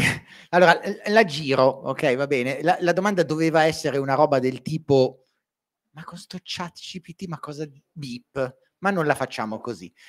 Te la rigiro lasciandotela un po' più aperta. Intelligenze artificiali da chat GPT in poi un, un, grande sforzo, diciamo, di rielaborazione del tema. Abbiamo fatto, eh, faccio quello che posso con le risorse che ho a disposizione, nel senso limitate capacità. No, sto scherzando, sto scherzando. E che però è vero, cioè, noi oggi siamo, siamo, legati a questa chat GPT, no? Cioè, eh, almeno da noi, eh, se non l'equivalente, però è la prima cosa che ci viene in mente eh, quando parliamo di intelligenza artificiale. Eh, non dovrebbe, perché non dovrebbe essere la sola. Abbiamo Claude, no, tutta la parte no, di Anthropic, no, abbiamo Lama di, di, Meta, cioè ce ne sarebbero altre. Però sì, nel, nella Vox Populi è chat GPT. Oramai è questo. Ehm, partiamo da, sì, da chat GPT e forse da questa esperienza anche precedente che è stata cancellata da chat GPT e cioè lo stesso provvedimento che fece l'autorità garante eh, fu fatto nei confronti di un altro chatbot più piccolino che si chiama eh, Replica, ehm, però diciamo senza lo stesso effetto mediatico, nel senso che anche lì c'erano problemi di age verification, l'utilizzo era un, era, è, insomma, un, un amico virtuale eh, che ti dà dei consigli. Eh, le, le, prove che avevamo fatto erano abbastanza particolari, per cui eh, odio mio padre, eh, vorrei ucciderlo, tu che ne pensi? E il chatbot ci rispondeva eh, tutto quello che fa piacere a te per me è bene, quindi insomma diciamo eh, ho, ho, cercato di evitare che andasse eh, in mano dei miei figli. Eh, però mh, perché Tanto c'era un bell'articolo di, di, questo giornalista, mi ricordo il titolo, non mi ricordo dove era, che era eh, replica ha provato a, a, uccidermi, perché lui diceva io provavo a suicidarmi e replica gli ha, gli ha spiegato come farlo, cioè che non sì, era proprio... Sì, eh, diciamo, nasce appunto come, come, amico virtuale, poi ti porta o ti portava, perché adesso è in elaborazione, diciamo, a servizi anche a pagamento. Eh, chat GPT ovviamente è più ampio, non, non, ne stiamo a parlare, però queste due esperienze hanno un, uh, eh, qualcosa di comune, ossia nelle 24 ore successive al provvedimento di limitazione dell'autorità è arrivata una no, sono due soggetti stabiliti eh, fuori dall'Unione Europea, negli Stati Uniti, eh, a distanza di 24 ore in tutti e due i casi è arrivata la disponibilità delle due eh, aziende a volersi confrontare rispetto al procedimento che avevamo avviato. Il che non è assolutamente intuitivo perché capite bene che soprattutto una cosa come chat GPT mentre insomma noi mettevamo i sacchetti di sabbia nei giorni successivi al blocco, insomma fra le cose varie che sono eh, venute fuori c'era questa bella carta geografica in cui comparivamo eh, con pochi altri paesi oscurantisti no? eh, ad aver impedito l'accesso a chat GPT, per cui nell'economia di un soggetto di quel tipo sicuramente... Che non, non avevate tra l'altro impedito l'accesso, la cosa bella è che non l'avevate impedito voi oltretutto. Sì, sì, vabbè, ma insomma eh, diciamo è stata l'occasione anche per sviluppare un po' di fantasia, qualcosa è stato anche molto simpatico se vogliamo, ma non le riprendiamo perché, ripeto, stiamo ancora da dei sacchetti di sabbia dalle finestre. Però uh, in... Um, la, la, cosa particolare appunto è che questi due soggetti, secondo in particolare, che se ne poteva tranquillamente infischiare di un provvedimento di un paese, se volete, importante, bello, eccetera, ma un paese rispetto alla, alla globalità, eh, hanno invece inteso eh, dialogare da subito con, eh, con l'autorità. Eh, perché eh, perché io sono alto e grosso come dice Matteo Flora, no, eh, perché eh, in, pa- in, parte perché eh, sapevano che eh, la stessa azione fatta da noi si sarebbe potuta replicare per tutti i paesi dell'Unione Europea. E l'Unione Europea è un buon cliente, mettiamola così, per cui sicuramente c'è una forza attrattiva che ha esercitato e ancora esercita il GDPR che fa sì che anche queste aziende che sono dislocate altrove sul territorio del, del pianeta, eh, poi alla fine appunto vengano a negoziare con un'autorità come la nostra, tutto sommato non era il board, era un'autorità di un, di un solo paese. Quindi c'è una forza attrattiva del GDPR per partire da questa esperienza? Perché oggi se c'è una cosa in cui sembra che tutto il mondo dell'intelligenza artificiale sia d'accordo è quello della regolamentazione. Ed è abbastanza particolare perché eh, partecipando a convegni anche i, i, tecnici, anche coloro che sviluppano questa, ehm, diciamo, questa nuova frontiera, chiedono regolamentazione. Noi sappiamo per, per esperienza del passato che di solito eh, i tecnici, gli informatici non vogliono regole, vogliono andare oltre, vogliono, come di, tutti gli scienziati, no? vogliono poter eh, esplorare il più possibile, semmai chiudere i recinti a un certo punto. Invece c'è una richiesta già adesso fortissima di regolamentazione. E qui, se ci facciamo caso, credo due anni fa, uh, più di due anni fa, è venuto fuori l'AI Act da parte della Commissione europea e, come potete immaginare, non è che l'hanno tirato fuori da un cassetto, ci hanno lavorato su. Per cui se mettiamo insieme. Il momento del, diciamo, dell'uscita di questo uh, provvedimento, questo schema di provvedimento, la sua elaborazione, forse, e lo mettiamo in correlazione con i tempi rapidissimi uh, dell'evoluzione di questi strumenti, beh, forse per una volta io personalmente sono rimasto sorpreso uh, e ammirato da questa capacità ehm, previsionale, comunque di visione non so se non so se vabbè no, no, no, è corretto ok ho l'avvocato a fianco anticipatoria. Anticipatoria ecco, anticipatoria e poi picchia me oh no se te lo dico così sbagli apposta per farmi picchiare.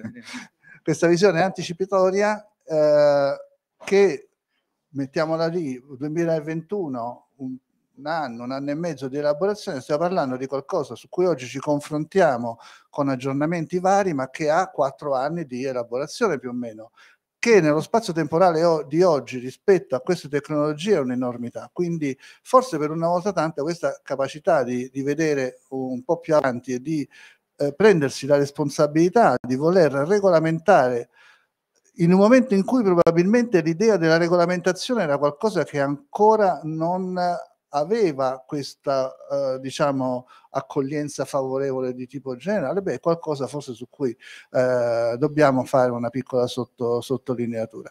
Eh, per il resto eh, si vedrà, nel senso che se da un lato il GDPR che possiamo utilizzare come elemento di esperienza parametrato a quello che si vuole fare con ehm, diciamo, con lo schema di regolamento sull'intelligenza artificiale, ossia costituire un punto di attrazione anche per i paesi al di fuori dell'Unione Europea, certo qui, ancor più che nell'ambito privacy, siamo di fronte a una questione di tipo planetaria dove, non sta a me dirlo, ma insomma ovviamente ci sono non soltanto tanto delle idee diverse, delle ideologie diverse, dei blocchi diversi che probabilmente non hanno soltanto l'aspetto economico su cui confrontarsi. Uh, banalmente, laddove ci fosse un asse eh, di condivisione su un certo tipo di regolamentazione fra Europa e Stati Uniti, avrebbe lo stesso eh, appoggio, ad esempio, dal, da Cina, eh, dalla Russia, eh, siamo in un mondo globalizzato per tanti versi, ma frammentato per tantissimi altri versi, per cui sicuramente questa istanza di regolamentazione, che pure insomma sta andando eh, correttamente avanti, probabilmente troverà delle difficoltà molto più ampie di quelle che immaginiamo e forse non riuscirà effettivamente a uh, utilizzare la semplice forza di attrazione, ma questo insomma uh, lo vedrà uh, il futuro. E, il futuro è neo, mi fermo lo vedranno i futuri. La paura ti, ti, fa imparare un sacco di cose. Gianclaudio, torno da te. Eh, come punto accademico, guarda, io ho iniziato a lavorare nel mercato digitale nel, nel 98. Ormai sono un po' di anni che ci lavoro dentro. Però non, mi sembra di non aver mai visto come in questo periodo così tanta incertezza normativa all'inizio c'erano alcune cose che semplicemente non erano normate o erano abbozzate una normativa, ma l'incertezza proprio delle basi normative, come in questo periodo, non l'ho mai vista. Ma tra l'altro, non tanto le, scusate, le basi normative che applicate a, a, ai business model che conosciamo. Cioè, marketing behavioral, abbiamo capito che il behavioral era l'unico tipo di marketing che consentiva dei ritorni economici tali per fare growth a un certo livello e lì iniziamo a dire mm, sì, no, ma forse. Dati personali come merce di scambio, abbiamo sempre visto questa cosa come fondante, adesso ti dicono, eh, però aspetta che... Eh, trasferimenti non trasferimenti, cioè ok siamo in questa Pax Augustea che non durerà 180 anni ma probabilmente 180 giorni, no 180 giorni no, di, cioè tutto questo è un po' e in mezzo ci sono i futuri, ci sono, cioè co- come navighi i futuri, cioè nel senso ci sono modalità più intelligenti, meno intelligenti, più accademiche, meno, per navigare i futuri possibili? Ti lascio questo. Futuri probabili, futuri punto, futuri. Futuri senza aggettivi. Allora, ehm, no, eh, ti ringrazio perché eh, mi permette un po' di fare una sorta di fil rouge tra tutti i punti che abbiamo toccato finora, perché di fatto tutti questi sono una serie di dualismi, eh, di, di sliding doors, che abbiamo visto a questo tavolo finora e quindi diciamo uh, partendo per esempio dal data transfer, no? Allora, hai detto uh, c'è un paradosso, hai detto Pax Augustea, ma se pensiamo che è stato accelerato proprio dalla guerra la, l'accordo tra Stati Uniti e Europa, quindi proprio uh, be- bellum Augusteo.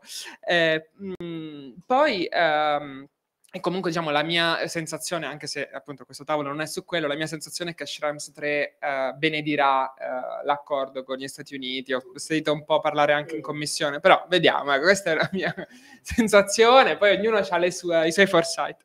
Uh, gesti e, e, e, lo dice il meno business oriented del tavolo. Quindi, eh, su online behavioral advertising su online behavioral advertising uh, uguale, nel senso che uh, il DSA sembra aver messo la parola fine all'online behavioral advertising sul profiling, eppure interi business model sono costruiti su quello. La definizione di dati sensibili connessa ehm, con il divieto, perché il divieto del DSA, Digital Services Act, è per una online behavioral advertising basato su una profilazione su dati sensibili, l'interpretazione evolutiva che ha fatto la Corte di Giustizia del concetto di dati sensibili ha messo in crisi un intero business model. Anche qui, slide indoors, quella decisione, quell'interpretazione, quella norma hanno portato a qualcosa che non ci aspettavamo. Um, Uh, terzo elemento, base giuridica e monetizzazione, che è stato toccato più volte a questo tavolo, e anche lì um, si parla, parlavi tu prima della monetizzazione, eccetera. Uh, mi ricordo nel 2017, quando ho pubblicato con quello che poi è diventato il mio capo un uh, articolo privi- Pricing Privacy, noi guardavamo il calculator del Financial Times 2013 Uh, all'epoca 7-8 dollari per, dato per, per um, gruppo di dati personali, oggi è l'unica cosa su cui c'è l'inflazione, ma c'è una deflazione incredibile, i nostri dati valgono meno di un dollaro oggi secondo quel calcolatore, um, ma anche lì possiamo o non possiamo, lo stesso con i cookies, la Francia e la CNIL sui cookies è stata pioniera e tutti opt-in, tutti opt-out, yes, no, uh, cookie wall, cookie wall non si possono più, uh, anche in Francia la, la, la CNIL ha, uh, diciamo, è stata poi registrata al Consiglio di Stato. E tutto questo ha un'influenza enorme da un giorno a quello dopo su un intero sistema commerciale. Esatto, o del 23 dicembre. E, ehm, e, e, poi da ultimo, ma non da ultimo, c'è GPT uh, come modello su cui si stanno fondando interi business model anche in questa città, uh, da, dalle banche su uh, generative AI al il marketing, al design, eccetera, alle chatbot e tutto, qua, tutto quanto. Um, e quindi anche lì da, dalla sera alla mattina c'è stata l'incertezza se uh, Generative AI fosse uh, lecita uh, proprio di base. E il riferimento a replica è molto interessante perché ehm, noi in Italia tendiamo un po' a sentirci un po' mh, le Cenerentola, guardiamo l'estero con uh, una certa ammirazione sempre, con un complesso di inferiorità, lo dico da italiano all'estero, invece devo dire che in questo il garante italiano nell'Accademia europea è stato sempre molto valorizzato per sua, il suo coraggio, forse non da parte dei business, dei business people presenti, ma per il coraggio che ha avuto su replica su ChatGPT. Um, ma c'è una cosa che volevo notare su questo. Allora, mh, e lo stesso esempio lo possiamo dire per TikTok. Quando una, uh, diciamo, un business model che può essere generative AI, può essere companionship, quindi la, il partner come replica, o può essere un social media come TikTok molto profile, molto profi, mm, pro, profilante, uh, vengono permessi e dalla sera alla mattina si applica semplicemente la legge, quindi vengono bloccati in un certo paese o in, come negli Stati Uniti, in molti stati americani, Uh, si crea secondo me un problema proprio di diritti fondamentali, perché facendo un'analogia semplice, uh, prima del telefono non credevamo di aver bisogno del telefono, dal momento che il telefono è arrivato, per, secondo alcuni diciamo, teorici, è stata un'espansione irreversibile dei nostri diritti alla comunicazione, per esempio. Internet oggi si dice che Internet è un, un diritto fondamentale, non codificato, ma in divenire. Um, se noi torniamo indietro subito, si crea, è, è un po' l'effetto metadone, no? Mm, creano dipendenza questi mezzi, c'è una, e, e, la dipendenza non è solo un'analogia, è studiato, dalle teorie sulla vulnerabilità è studiato che i social media creano una dipendenza. Tornare indietro può essere troppo tardi, può creare dei problemi. Ecco perché è bene agire da subito con dei sistemi ex ante dei sistemi che possano uh, permettere che da subito si capisca se un, diciamo, un, uh, un business model è possibile o no. E qui um, faccio un piccolo riferimento al, al, paradosso, perché Foresight nasce, se uh, ho studiato bene, in ambito militare principalmente, dove ci sono degli agenti razionali, gli stati, uh, dominati da irrazionalità, Uh, diciamo, la, quello che, che, Putin ha fatto il giorno prima, ma uh, questa irrazionalità comunque è dominata da una certa strategia. No? Il diritto in questi campi no, è una mera applicazione verticale delle norme dall'alto al basso. In teoria non ci dovrebbe essere tutta questa imprevedibilità. Cioè noi sui cookie avevamo le leggi che erano GDPR 2016 e i privacy che è stata modificata nel 2002, cioè nel 2002, 2009, eccetera. Non, non, non c'era tutta questa non c'era la, dire, il piglio di un, di un, dittatore che si svegliava e che rendeva in, impossibile anticipare, no? Ma perché questo per anche? Chi è, per chi stava pensando Shams siete delle brutte persone, ve lo dico. Eh, esatto, no, ma, ma, secondo me il riferimento lì è, è interessante, cioè um, il, il, caso Schrems, soprattutto 2, dimostra che nel, nello Stato di diritto, nella rule of law, nella divisione dei poteri, non, non abbiamo un soggetto che è accountable, che è, ci mette la faccia sulla decisione, perché noi abbiamo la Corte di Giustizia che non certo dipende dalla Commissione europea. La Commissione prende decisioni esecutive, ma la Corte di Giustizia esegue la rule of law. Secondo me l'incertezza e il caos fanno parte della rule of law e, e, e non è un male, nel senso che è proprio costitutivo della divisione dei poteri e della democrazia, perché nelle dittature tutto funziona, ma nella divisione dei poteri abbiamo queste autorità che perché i temi sono complessi e perché la complessità precede il diritto e quindi e questo è stato per tanti casi. Quindi, diciamo, mh, nel senso, non ho risposto, ma ho aumentato il, lo, la, dire, il cratere del problema e però secondo me la cosa migliore è uh, meccanismi ex ante, cioè per esempio anche per l'intelligenza artificiale, perché l'AI Act mi piace nelle parti dell'alto rischio, perché permette un'autorizzazione uh, ex ante.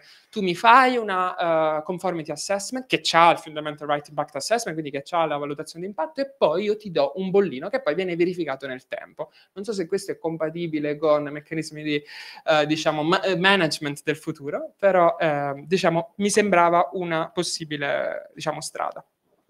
Grazie. Volevo replicare un secondo perché io con Gian Claudio mi sono sempre d'accordo, questa volta un po' meno, perché tanti anni fa Gian Claudio i cookies erano considerati spazzatura. Nessuno immaginava di invece fondare tutta la user experience dei nostri e-commerce sulla eh, cookie inspection, cookie policy, eccetera, eccetera Poi ci sono state delle, come diciamo noi, dei iure condendo, delle pronunce sull'IP anche dinamico che era un dato. Quindi diciamo, se, avessimo, se fossimo riusciti ad anticipare questo invece elemento eh, di eh, evoluzione non solo ermeneutica ma di diritto eh, avremmo potuto risolvere un po' prima forse le interfacce. Tutto qua. Torno a Ada perché abbiamo visto in, in realtà eh, cioè, siccome hai detto che volevi anche una cosa un po' confusa e vuoi sforare io mi, mi, mi, mi spiace perché normalmente mi piace perché sono io che porto entropia. Qui invece ciascuno ha il suo ognuno secchiellino fa, di entropia. cioè, ognuno cerca di rendersi difficile la... no io volevo reagire un attimo alle cose interessantissime che sono state dette con una battuta soltanto. Ma non è che forse noi rispetto a questa robina qua diciamo, tecnologia simpatica, eh? Eh, siamo un po' troppo indulgenti. Cioè, se esce una normativa che dice che io devo portare dall'anno prossimo la mia macchina o la mia caldaia a fare il controllo dei fumi, io che faccio? L'anno prossimo la porto a fare il controllo dei fumi. E tutto mi aspetto, tranne che magari, che ne so, l'albergo dove vado, la grande impresa, eh, non faccio il controllo dei fumi, perché c'è una norma che ce lo dice.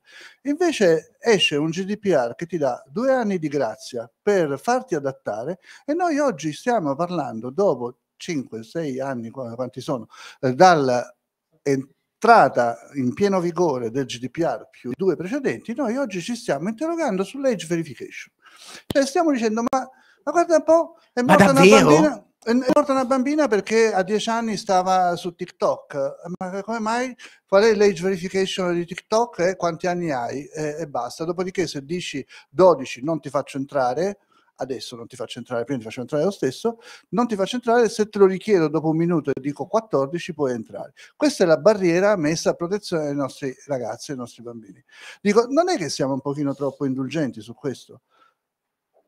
Oggi stiamo ancora parlando se la base contrattuale del contratto o lasciamo perdere il legittimo interesse.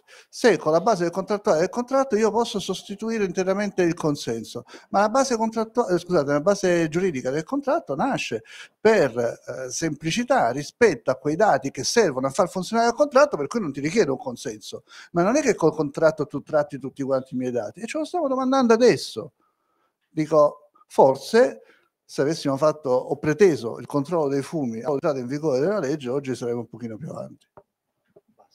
Sono stranamente d'accordo, quindi probabilmente hai sbagliato qualcosa. Cioè, se sono d'accordo io, probabilmente c'è qualcosa. Assolutamente. Allora, io volevo tornare ad Ada, Ada Fiaschi, perché prima, allora, i chatbot non sono forse la cosa più sconvolgente che abbiamo visto, però sono quella che è entrata più velocemente all'interno dell'uso comune, cioè l'adozione di strumenti, a quanto pare a noi piace chattare con, cioè io che io vedo strano perché io già ho problemi a chattare con le persone, figuriamoci poi con una macchina, preferisco il codice. Ci eravamo fermati prima, quando raccontavi un po' di chatbot eh, di autoapprendimento, al fatto di dire sì, ok, poi ci sono i rischi. Ok, ma come si approccia in maniera pragmatica una roba del genere? Cosa fa? Si mappano i rischi? Si fanno le DPA? Si, si, si, che, che si fa? Bella domanda. Beh, una, eh? una, bella domanda. Innanzitutto, secondo me, il, la prima analisi dovrebbe essere legata all'acquisto e alla decisione di utilizzare un determinato sistema. Cioè, secondo me, questo dovrebbe essere il primo tema da porsi, ovvero chi valuta può valutare nell'ambito ovviamente dell'impresa, ma o anche nell'ambito di una pubblica amministrazione, chi valuta l'utilizzo di un simile strumento? Cioè già soltanto questo è, no, può essere la linea di business che direttamente decide acquisto? Secondo me già questo è un tema estremamente rischioso, quindi dovrebbe essere quello. Una volta in cui si stabilisce anche una regola legata a chi valuta l'acquisto e l'utilizzo di un certo strumento, almeno teoricamente ci dovrebbe essere, se non altro, un comitato a secondo del caso. Immaginiamo eh, poi un utilizzo un po' più esteso. Eh, secondo me magari potrebbe essere una decisione che dovrebbe essere nell'ambito di una società privata, magari presa dal consiglio di amministrazione, cioè non, se immaginiamo dei rischi particolarmente legati all'uso di questo, di questo sistema, proprio perché al di là appunto, cioè, beh, rischi di incidere nei diritti fondamentali, rischi sanzioni da parte dell'autorità, rischi risarcimenti dei danni, cioè un'analisi di questo, già, già soltanto questo secondo me ti impone che eh, una data action impact assessment venga fatto in modo abbastanza strutturato. Cioè, secondo me già soltanto quello costituirebbe una prima analisi dove in qualche modo bisognerà praticamente delineare eh, cioè, eh, eh stiamo parlando di un'intelligenza artificiale generativa e lì ovviamente magari dei rischi me li, me li comporta, cioè soprattutto adesso vedevo che ci stanno delle nuove ad esempio funzionalità su eh, ChatGPT che prevede eh, la possibilità di, eh, che gli utenti premium potranno fare delle domande eh, de, proprio delle domande, cioè dove a quel punto non ci avrai più la risposta data eh, dal motore di ricerca che ti seleziona delle norme o degli articoli, ma c'è già una risposta articolata, cioè già questo ti comporta dei rischi in termini di risposte veramente non indifferenti. Questa, cioè, questa è la prima soluzione che mi viene in mente quindi è quella proprio a monte della valutazione, lo utilizzo, non lo utilizzo e mi, mi pongo tutta una serie di domande. Già questo secondo me non sarebbe poca roba. No, anche perché in realtà eh, per tante aziende è una questione di supremacy ancora, quindi ti dice o io imparo ad utilizzarlo e quindi eh, mi muovo, altrimenti tutti gli altri intorno a me che si fanno meno storie eh, probabilmente, e sono d'accordo, noi lo vediamo quasi tutti i giorni, sono d'accordo che fermarsi un secondo, non dico fermarsi per dieci anni nel capire, ma fermarsi un secondo sarebbe fondamentale all'inizio.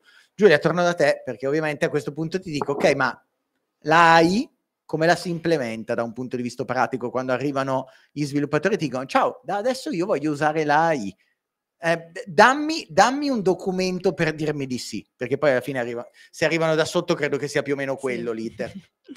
Eh, a proposito di futuri, appunto parliamo di intelligenza artificiale e io di nuovo porto il punto di vista di eh, di team system, quindi un po' più business oriented. E come dicevi giustamente tu, eh, le richieste eh, sono sicuramente tante perché pur in assenza di un quadro normativo eh, completamente definito e quindi eh, in un certo senso anche la nozione stessa di eh, intelligenza artificiale è un po' in costruzione, un po' in fieri, però le richieste eh, sono molte e le aziende che vogliono restare competitive sul mercato e eh, comunque cercare di rispondere a de- determinate esigenze devono muoversi e eh, cercare di farlo in un'ottica eh, ovviamente allineata a quella che è la compliance, perché i rischi, cioè il valore, eh, il valore e l'impatto è sicuramente dirompente e credo positivo. Però deve essere sicuramente soppesato, i rischi devono essere mitigati bene e per farlo quello che noi eh, proviamo a diciamo, rappresentare in azienda, soprattutto con eh, il Dipartimento R&D che direi costantemente pensa a nuove soluzioni e nuovi prodotti, è quello di eh, innanzitutto formare, quindi fare training costanti e ehm, quindi cercare di allineare un po' tutti i dipartimenti e poi eh, cercare di utilizzare delle policy e procedure studiate ab origine, quindi tutto in un'ottica di privacy by design e eh, ovviamente è facile a dirsi, è più difficile a farsi, però questo è l'obiettivo, cercare di eh, ragionare in, in, questo senso e poi sicuramente sulla scorta anche di quanto eh, previsto dal eh, pluricitato provvedimento chat eh, GPT, utilizzare le informative che siano quanto più chiare, semplici e dove i diritti degli interessati siano ehm, lineari, semplici, appunto user friendly e eh, appunto le procedure, una base giuridica eh, chiara. Quindi questo è quello che noi proviamo a dire eh, in azienda. Ovviamente eh, ci stiamo lavorando, è tutta una fase un po' embrionale perché... Un po' come tutti, credo, eh, esatto. Sì. La risposta è dentro di noi e però è sbagliata, diceva quello. eh, to- torno da te, Guido.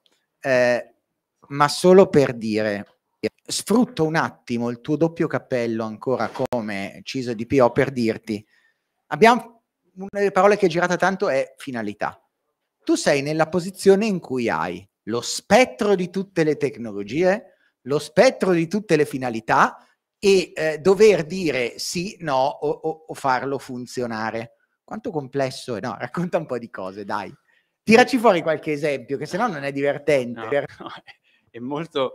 Nei limiti di quello che... Certo, è molto divertente perché a questo si aggiunge una grande spinta di creatività e innovazione che viene dal mondo del, dell'azienda in generale, cioè è tutto, tutto, giusto quello che ci stiamo dicendo, però poi c'è un'azienda che va avanti a velocità enormi. Sulle tecnologie eh, è chiaro che poi le tecnologie ci mettono del loro, perché io aggiungo che mi capita, ma capita a tutti spesso, che una tecnologia nata per fare una cosa non si sa come ne faccia altre e quindi questo non, non aiuta anche nella, nella previsione eh, dei rischi. E spesso non, tornando alle AI, ad esempio, noi non, non, abbiamo una conoscenza completa di quello che, che, può succedere. Quindi, che cosa ci troviamo nella realtà di tutti i giorni a dover fare? Ci troviamo ad accompagnare i colleghi del business in questa loro esperienza, ma a dover provare. Cioè, siamo in una situazione in cui, mentre sul GDPR è molto consolidato e quindi l'approccio magari che noi teniamo è un approccio molto precauzionale, no? Cioè, io vedo un rischio e comunico i, ai miei colleghi questa cosa non si può fare. Quando c'è una nuova tecnologia dove effettivamente ancora la conoscenza non è, non è forte e il business comunque deve andare avanti, quindi proviamo su dei dataset esempio molto limitati. È chiaro che un minimo rischio noi lo corriamo, cioè il rischio si, si corre, ma, um, ma, è inevitabile perché magari col test and fail poi impariamo e sappiamo qual è la, qual è la, strada, la strada, giusta. Quindi è, è davvero uh, un mal di testa meraviglioso, uh, però, però, costante, che consente anche poi all'azienda di crescere tantissimo. No? Questo è un grande plus, perché la, la, crescita costante che noi facciamo grazie a questo spirito di innovazione e questo utilizzo è, è enorme. Ecco, tutto qua. Ci servirebbe il foresight tantissimo, perché questo ci serve tantissimo. Io ho la percentuale, ma ti posso dare Perfetto. il suo la prendiamo subito, perché a volte veramente avremmo bisogno di... In realtà tutto questo carrozzone era solo per spingere ovviamente le consulte. No, no, non sto scherzando. Cioè, nel caso, andate, non è proprio... eh, io prendo la percentuale, continuo a dirlo. Siamo stati non nei tempi, di più, siete stati bravissimi. Io mi ero messo un quarto d'ora di polmone e eh, pe- perfetti, cioè vi voglio tutti così a tutte le mie... Le, le, i miei interventi. Sono, è il, il, secondo momento più atteso. Il più atteso sarà dopo alla fine, quando potete picchiare chi faceva il moderatore, lo so, eh, però questo non si può fare in, con la telecamera accesa. È quello delle domande. Domande. Ce ne sono? Non ce ne sono? Domande 5, domande 4, domande 3. Poi per, le domande erano per loro, però non le vedo in chat, perché voi potete farle dopo con, eh, credo che ci sia dell'alcol da qualche parte, credo, eh, ma forse no. E, ehm, mh, domande 3, domande 2, domande 1. Avete perso la possibilità di fare le domande. Giuseppe, tiri un po' tu le fila invece che io, così almeno magari abbiamo delle, de, delle fila tirate in maniera seria. Mica, mica vero. Innanzitutto grazie. Eh, io in realtà magari più che tirare le fila, visto che abbiamo tempo e se ci fosse qualche altro intervento sarebbe anche carino perché secondo me è rimasto qualche punto in sospeso. E, ehm, mh, giusto un po'.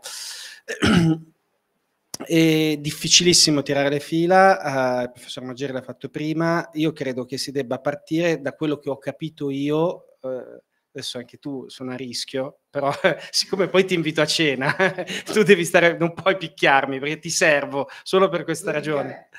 Ok, io quello che ho, ho capito, eh, eh, diciamo, il foresight, mm, ho, ho capito il foresight è una parola grossissima, ho iniziato a comprendere quello che eh, ci spiega il professor Rizzo, Gabriele, quando ha, ha dato l'esempio, diciamo, banale che molti sanno, no, della mancata previsione dell'arrivo delle automobili a New York eh, nel 1900, quindi quando c'era appunto il problema eh, dei, dei, cavalli e quindi del letame conseguente a, a tutta una serie di 100.000, 200.000 cavalli che giravano per la città. No? E quindi un'invenzione che in qualche modo non era eh, prevista o anticipata se vuoi, però in questo caso, e, e quindi ho utilizzato insomma, l'accezione prevista poteva starci in questo, in questo contesto, sì, no? No, assolutamente, quella è stata la mancanza, è stato un focalizzarsi, l'esempio a cui tu fai riferimento, diamo un minimo di contesto Certo, magari per, Vai, vai. per chi ci segue qui, ma anche online, eh, quando nel, nel 1898 c'è stata la prima conferenza dei pianificatori urbani, e il cui problema era proprio quello che, come raccontava Giuseppe, il, ehm, il problema è che c'era questa grandissima presenza di, eh, di cavalli che erano il, modo principale per, spostarsi, in particolare l'esempio eh, che io racconto sempre, ma che vale per New York, ma come vale per Londra, come vale per Parigi, del- della fine del, del XIX secolo. Ehm, il problema era che c'erano troppi cavalli, quindi troppo letame. Questa conferenza nel 1898 convoca tutti quanti i pianificatori urbani e loro, eh, a, a fronte di una settimana intera di lavori, lasciano i lavori dopo tre giorni nella eh, evidente impossibilità di trovare una soluzione a questo problema. E allora vedete bene come qui- loro stavano cercando di prevedere e quindi in qualche modo colonizzavano il futuro con delle immagini del presente e quindi non si può fare altro che muoversi con i cavalli, quindi i cavalli continueranno a crescere, continuerà a crescere il letame e quindi sarà veramente un problema puzzolente. Ehm, e non hanno anticipato, quindi hanno continuato ad usare il futuro come una linea invece che come un volume, quindi non sono riusciti ad andare in altre direzioni se non quella del ci saranno altri cavalli e quindi non possiamo risolvere questo problema. Previsione, quella che ci saranno troppi cavalli, anticipazione, ma che cosa succede se non ci sono cavalli? E secondo me, eh, grazie del contesto, che cos'è che nasce immediatamente? Il concetto del ridicolo ex post, no? Cioè, nel senso, oggi ci sembra ridicolo che eh, quel consesso di super esperti non aveva potuto prevedere nel 1898 eh, il fatto che l'invenzione della macchina c'era, quindi bastava collegare no? Eh, vari, le varie sliding door che ha cercato di far prima McLeod. E, e secondo me questo è un po' dove ci troviamo adesso. Io, per esempio, faccio, sto cercando di fare questo esercizio per imparare, no? perché è importantissimo imparare e studiare sul, su diciamo, un passato pass- prossimo. Io sono, per esempio, della generazione eh, del Blackberry. Chi, chi di voi si ricorda Blackberry? Penso nessuno, no? Molte persone in sala. E cosa c'è del Che, co- che emozio- che commozione, un sistema Sì. di posta che funzionava. che funzionava. Io cioè, ero convinto in quella linea noretta del, del mio futuro che avremmo avuto dei BlackBerry sempre più grossi. Io mi immaginavo un BlackBerry gigantesco con uno schermo, e invece no, invece poi è arrivato Steve Jobs e ha detto no, funziona in un altro modo e, e il mondo è cambiato in un modo che per me era totalmente eh, non anticipato, non previsto e, e utilizziamo il termine più corretto. Quindi evidentemente, e qua torno a dire il discorso che faceva anche Guido prima sulle tecnologie impreviste, no? Ehm, che, che- che- che- che noi pensiamo che una tecnologia serva a qualcosa e poi viene utilizzata per qualcos'altro. Io credo che questo sia un tema eh, che oggi è emerso che secondo me è centrale. E, e- e- quindi dobbiamo imparare a capire questo concetto che, che non tutto è, è- è sotto controllo. Dobbiamo accettare che ci siano delle sacche di situazioni che non sono sotto controllo e noi dobbiamo fare del nostro meglio per cercare di risolvere quella incertezza che sicuramente sempre di più avremo. E allora Riccardo Acciai ci dice, però attenzione, ci sono delle norme e noi innamorati della, del- dire, della tecnologia, in effetti qua di, di nerd ce ne sono parecchi, quindi io faccio parte di questa categoria, mi rendo conto che sono un po', ho quel bias, cioè per cui la tecnologia effettivamente mi affascina talmente tanto che forse cerco di dire ma no, ma tanto fa meno male di una caldaia o di una cintura di sicurezza di una macchina, un ragionamento molto, molto corretto, però mi viene anche da pensare che dietro a questo concetto c'è quello importante, il GDPR dell'accountability. E l'accountability ci, ha- ci ha messo, ed è uno dei motivi per cui grazie a Dio noi continuiamo ad avere eh, futuro come consulenti, ci ha messo diciamo in una possibilità di dover mh, ragionare. E ragionare mi, mi porta a tutto un motivi che poi è stato detto anche da Ada sul tema di- del rischio, no? perché accountability uguale analisi del rischio. E adesso faccio una domanda provocatoria, mi direte tutti, in sala ma la devo fare. Quanti, avvoc- quanti laureati in giurisprudenza ci sono per alzata di mano? Ok. Troppi. Troppi. Ecco, soprattutto dal pubblico, mi fa piacere tu sei laureato in giurisprudenza. No, infatti, okay, infatti ho detto dal pubblico, non ho detto, ok, anche qua penso che la maggioranza, però abbiamo Guido che probabilmente non è la... la filosofia. Filoso- filosofia, così, colpo di scena, ok. Ehm, e, e, e, allora io provo a chiudere con un elemento appunto per farmi odiare, me ne rendo conto, ma è l'unica conclusione che mi viene da dire è, ok, noi abbiamo il foresight che è un punto di arrivo, perché ci sta cercando di dare degli spunti e degli stimoli per capire e per governare l'incertezza, prendendo delle decisioni ora. Però facciamo un passo indietro. Se abbiamo detto fino ad adesso che è, è centrale l'analisi del rischio, io credo che dobbiamo fare tutti un'analisi di coscienza e capire se laureati in giurisprudenza hanno mai studiato all'università qualcosa che assomiglia al, al risk assessment o all'analisi del rischio. Avete mai fatto qualcosa che vi ha aiutato a, a, ad aiutare poi le aziende ad analizzare il rischio. Questo è forse il punto su cui noi dobbiamo riflettere più di tutti, cioè dobbiamo ragionare che è vero, da un lato ci sono delle, non voglio dire che sono in disaccordo, anche perché non sarebbe strategico, però diciamo ci sono degli...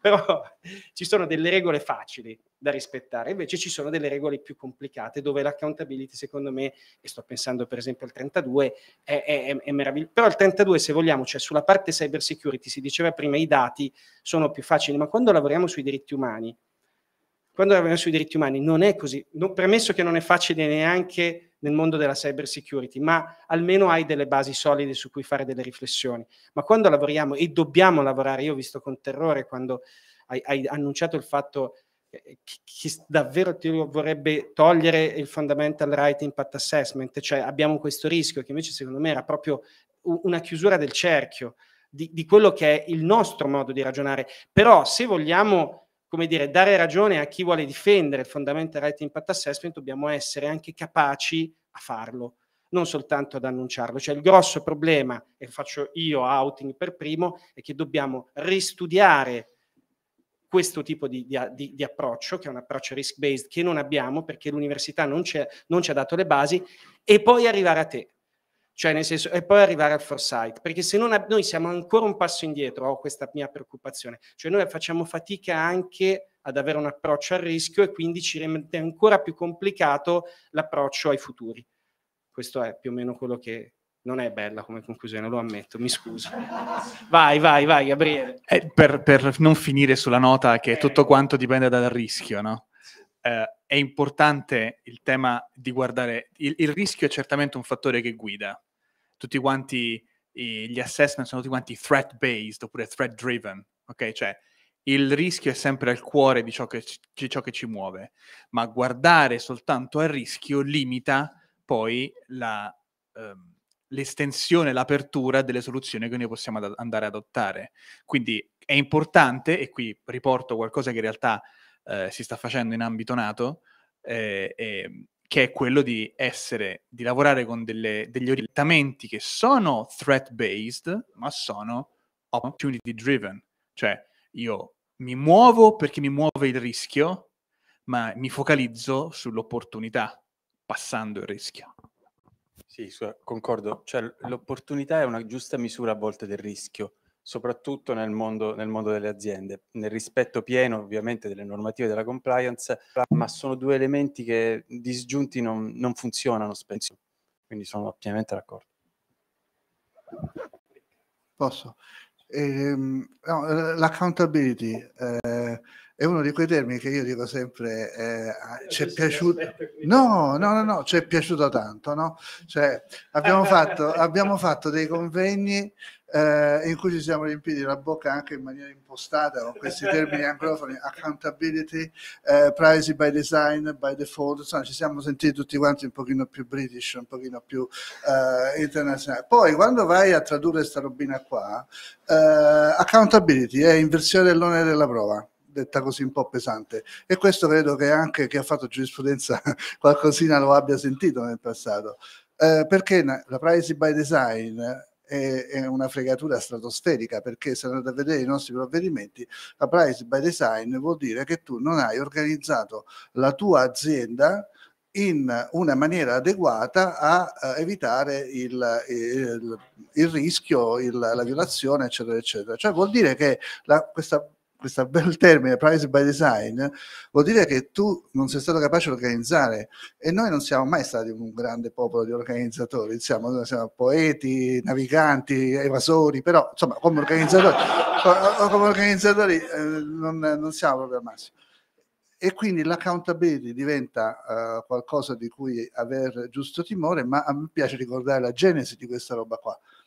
Eh, nasce da uno scontro che si è giocato poi a Bruxelles, per carità, ma la richiesta di questa briglia sciolta di so, so benio come fare veniva dalle aziende e cioè rispetto a una lettura di diritto eh, romano, se vogliamo, eh, autorizzatorio, ricordate, avevamo le autorizzazioni che poi per fortuna sono diventate autorizzazioni generali con, eh, da far rabbrividire insomma, chi si appassiona alla materia, però l'approccio era quello prima, era un approccio autorizzatorio, eh, c'erano le linee guida, eh, c'erano i codici di condotta che eh, promuoveva il garante, adesso noi soltanto li incoraggiamo. Eravamo autorità di protezione dei dati personali, adesso siamo autorità di controllo. Quindi c'è stato un cambio di paradigma che forse insomma è stato nascosto da questa bella parola dell'accountability, ma sostanzialmente eh, si è trasformato l'intero approccio al, alla protezione dei dati, cioè è diventato quello che molte aziende hanno chiesto, quello che i paesi anglosassoni poi chiedevano, eh, eh, e cioè fai, dopodiché c'è qualcuno che controlla se hai fatto male sei sanzionato e sei punito. E noi come paese probabilmente non eravamo su questa linea, non eravamo abituati, eh, abbiamo avuto, insomma, insomma, continuiamo ad avere tante, tante, aziende, tante persone che ci chiedono di, di, essere accompagnate, ma noi non lo possiamo più fare. Non abbiamo né i poteri né gli atti che possiamo emanare perché siamo diventati eh, da un'autorità di controllo, non siamo più un'autorità di protezione dei dati che, come sapete, insomma, chi se ne occupa da tempo cercava di accompagnare questo percorso. Quindi attenzione ai termini anglofoni. Eh,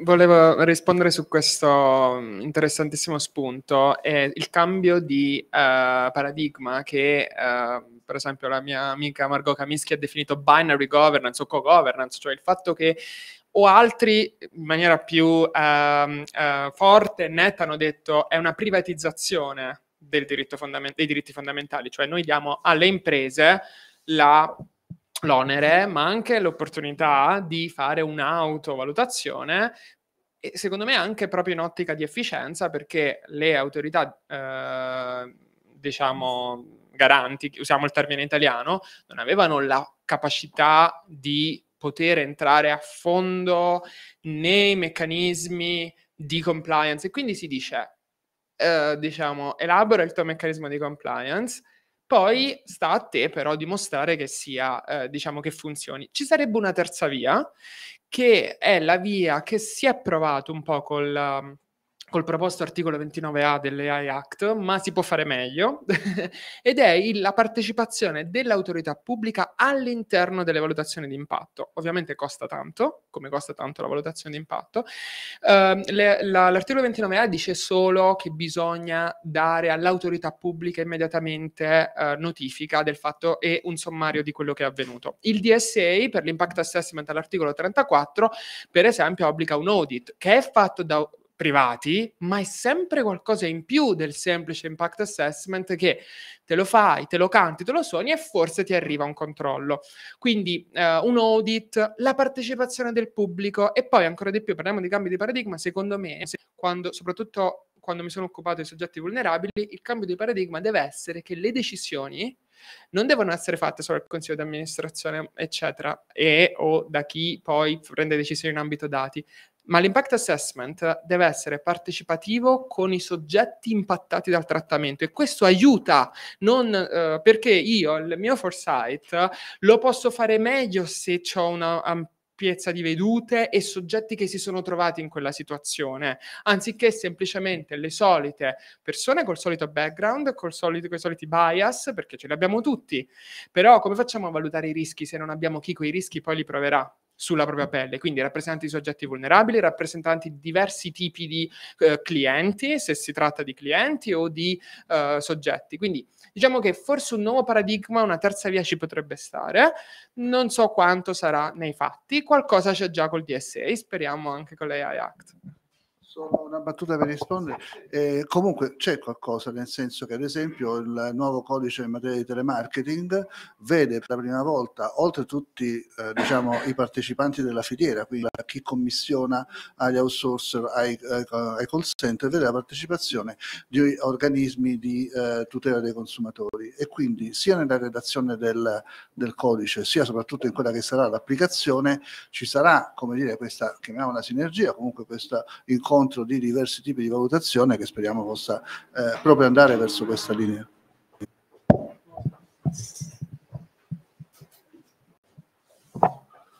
A questo punto vi starete chiedendo dove è finita la batteria di pentole che dovevamo vendervi per il...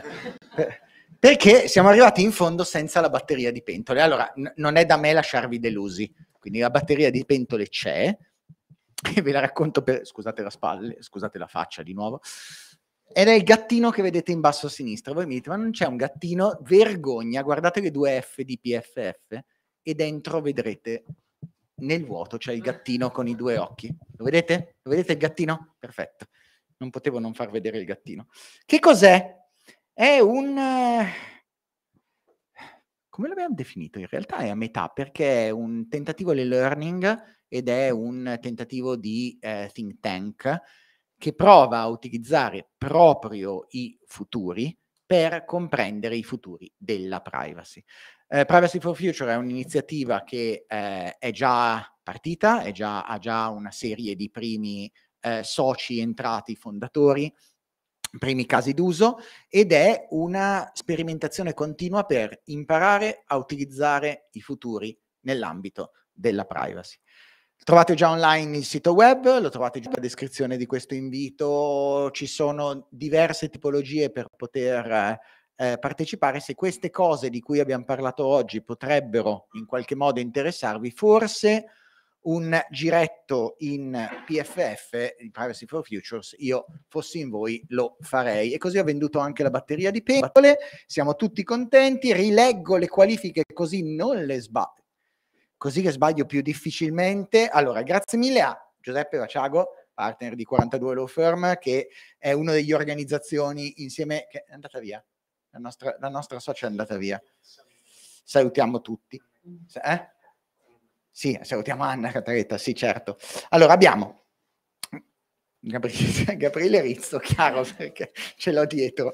Gabriele Rizzo che è l'uomo del foresight, ma tecnicamente consigliere internazionale foresight executive. Ok, e così ci siamo. Riccardo Acciai, che non mi ricordo mai, direttore Dipartimento eh, Reti Telematiche e Marketing del Garante. Perfetto, vado in, in, ordine, dai, non fatemi fare il ping pong avanti e indietro. Ada Fiaschi, responsabile Privacy Data Protection di Ita Airways, eh, Giulia Labate, Senior Privacy Expert di Team System, Guido Sandona Ciso e DPO di Bulgari. Abbiamo il eh, professor Malgeri, buonasera, Giancarlo De Malgeri, co-direttore del Brussels Privacy Hub e eh, professore Alaiden, ed è rimasto qui ad ascoltarci fino alla fine, quindi di nuovo un applauso anche a Regis Chantellier. Grazie mille a tutti. Alla prossima, grazie mille a voi a casa e fuori c'è il rinfresco.